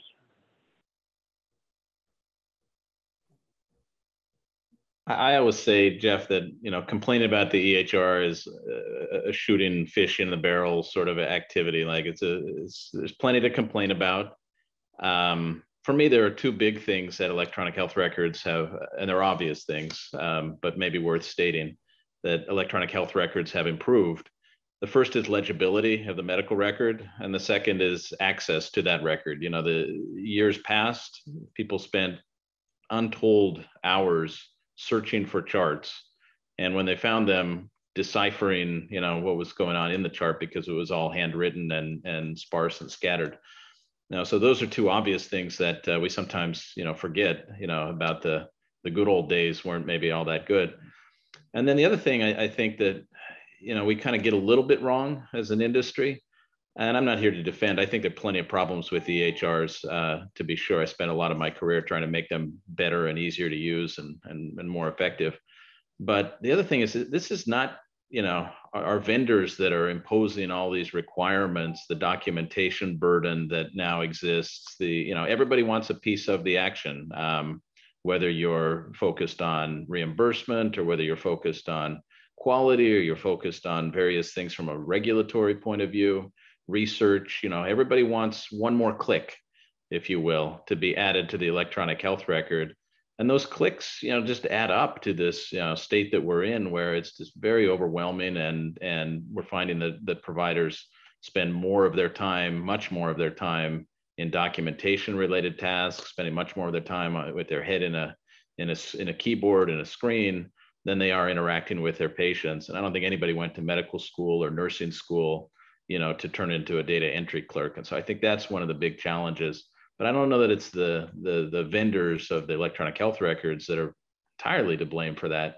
We talk a lot about next generation technologies, voice being probably the most um, alluring at the moment, where you know maybe it can just with AI magically translate my office visit, my interaction with my primary care doctor into a note, you know, that has structured data elements and everything just sort of gets recorded sort of a virtual uh, scribe and transcriptionist, if you will. And so that technology is nascent, but seems to be coming along. Uh, some are calling it ambient voice. So there's a lot of potential there, but I don't think it's quite prime time yet. But uh, that might be one thing to keep uh, our eye on in the future. Okay, great. Well, we've gotten a number of questions from the audience, both uh, submitted in advance and during this session. Uh, I guess one of them is really about using technology and artificial intelligence to improve the discharge and to even predict or prevent rehospitalization or even death.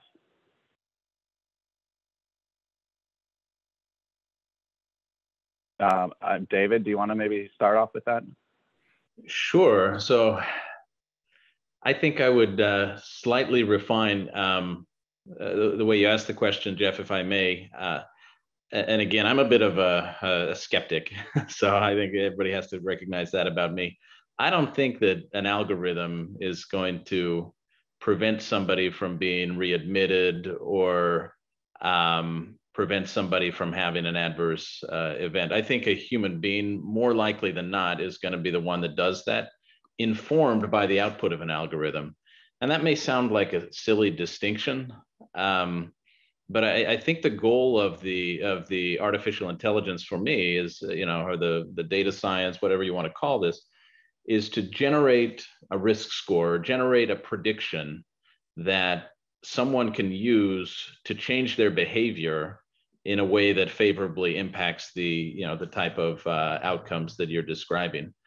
If uh, and i think that's sort of the state of the art today. I don't think this is going to be a closed loop system anytime soon. Um, but it can it can help facilitate getting the right information to the right person at the right time. Um, but those are that's challenging. Like that's a lot of rights if you will. Uh, the right information the right person the right time the right context so that they can make a different decision.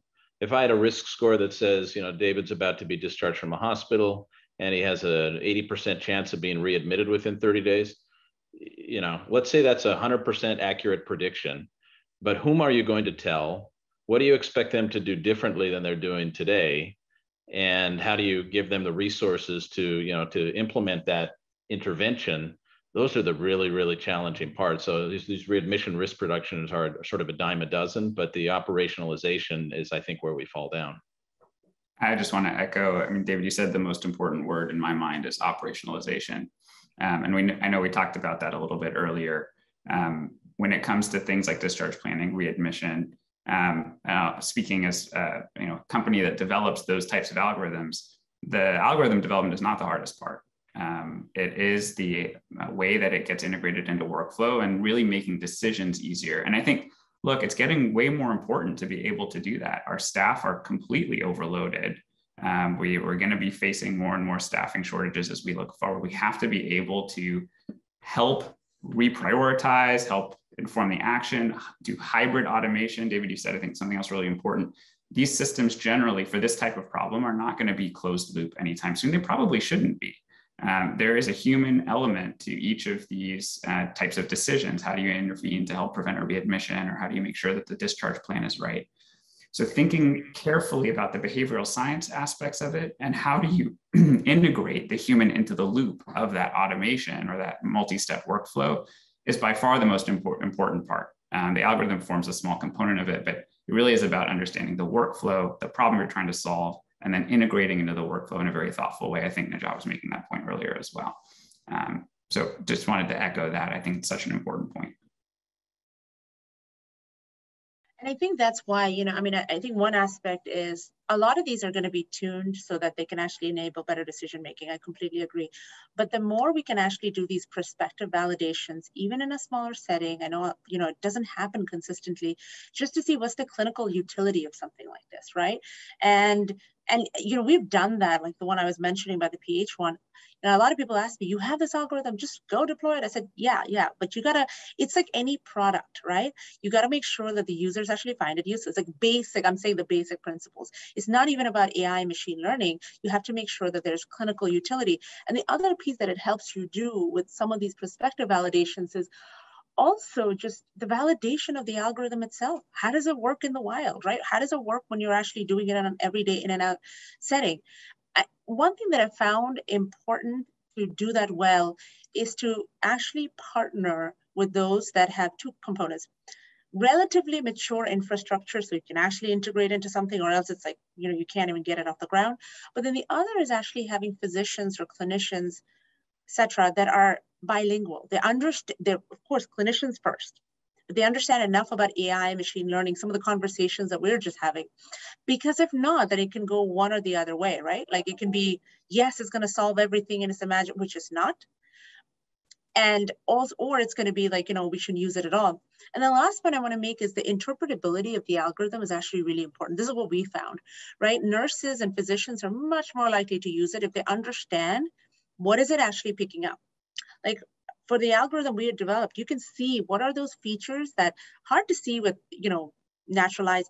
What is it picking up in that ECG that makes it so highly predictive of the certain disease? The minute you get a physician or clinician to understand that, you see a complete difference in their engagement model.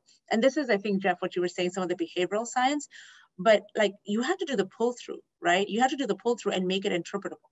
So just a few things in terms of what we have learned as we've tried to, you know, validate and and do more than some others said that we should be doing. But I think it's the right approach to make for a more sustainable, sustained use of something um, AI machine learning based.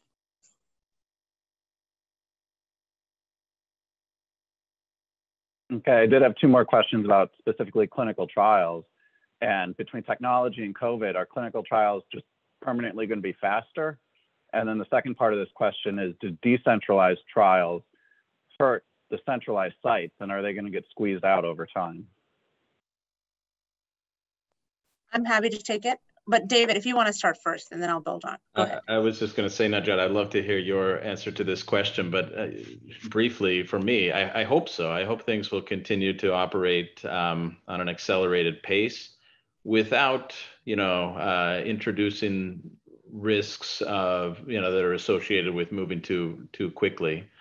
Um, Najat, I think, said something really interesting earlier that most clinical trials have historically been conducted in uh, you know more central academic medical center environments. AMCs are about five percent of hospitals in the country. Uh, they pro provide a disproportionate uh, amount of care because they tend to be large and and uh, serve a, a, large number of people.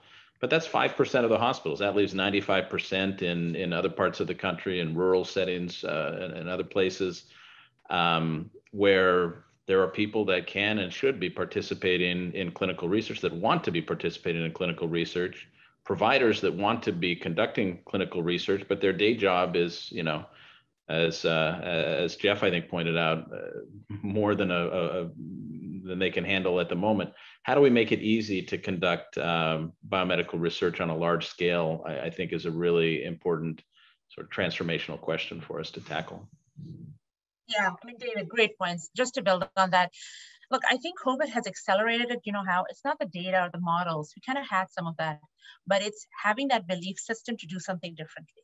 It actually takes a lot of guts to say, you know what, I'm not going to go with what I've already always done, but I'm going to add this machine learning model, this new thing. And that was our biggest, you know, um, I think hurdle, I would say, when we actually develop that algorithm. It's not just developing and validating it, it's actually getting the pull through into operations to actually get it to be used. I think going forward, this shows, you know, it's nothing like a good example or a win to actually get people to ch- think differently. And when you do it for one of the biggest programs that everybody's watching and don't want to get it wrong, um, you know, that, that helps with that change, changing people's minds. So specifically, I think number one, you know, what I mentioned before, which is around, you know, using data to be very unbiased. Have algorithms, you know, what's the eligible patient, what's that inclusion, exclusion. And this is what ends up happening. You have trial sites that we've never been to before that are set up to do research. So we can do that here and now. But then there's a lot of sites that come up that are not set up. And there you have to make a decision, right? Like how do you, and David was mentioning some of the community clinics, and Jeff mentioned how busy they are you have to make sure you actually put in, this is what I meant, the resources, the infrastructure needed to actually create them to be clinical sites. And we can do that because in many areas like IBD, multiple myeloma, we're in it for the long haul. This is not a clinical trial we're doing one day and then we stop. We're in it for the long haul with a pipeline of medicines coming through different regimens. So that's where we're taking a two-pronged approach to actually invest more midterm, and then the sites that are ready today to actually do that um, here and now. The other thing I'll mention around diversity and inclusion, the type of modeling we used to go, again, go with data first. Where are some of these underserved you know, communities? Where should we be doing these sites? How do we have the right referral systems? We are not doing that across the board for our different. You know, and I'll be honest, it, it doesn't it doesn't all get fixed in a day, but actually having that approach in our ways of working and thinking completely shifts what we're doing. So I would say those are the ways I think COVID-19 is a catalyst, but I wouldn't say it's the single event that's made it happen, but it's definitely accelerated it. Okay, great. I think we're just out of, about out of time. So I'd really like to thank all four of you for participating in this. And I think I'd like to turn it over to Carri for some closing remarks. Yep. Um, okay, I'll, I'll take care of that. Thank you very much for attending our symposium today, everyone. We greatly appreciate your interest in the healthcare industry, in Gabelli Funds, and Columbia Business School. Thank you, Carri, for your partnership and um, the speakers for your time and insight. Special thanks to Mario Gabelli and his support in me, Carri, and the symposium. Please contact us if you have any questions. We will follow up with a short survey for your feedback. We look forward to connecting in the future. Have a great weekend, everyone. Thank you everyone for being here.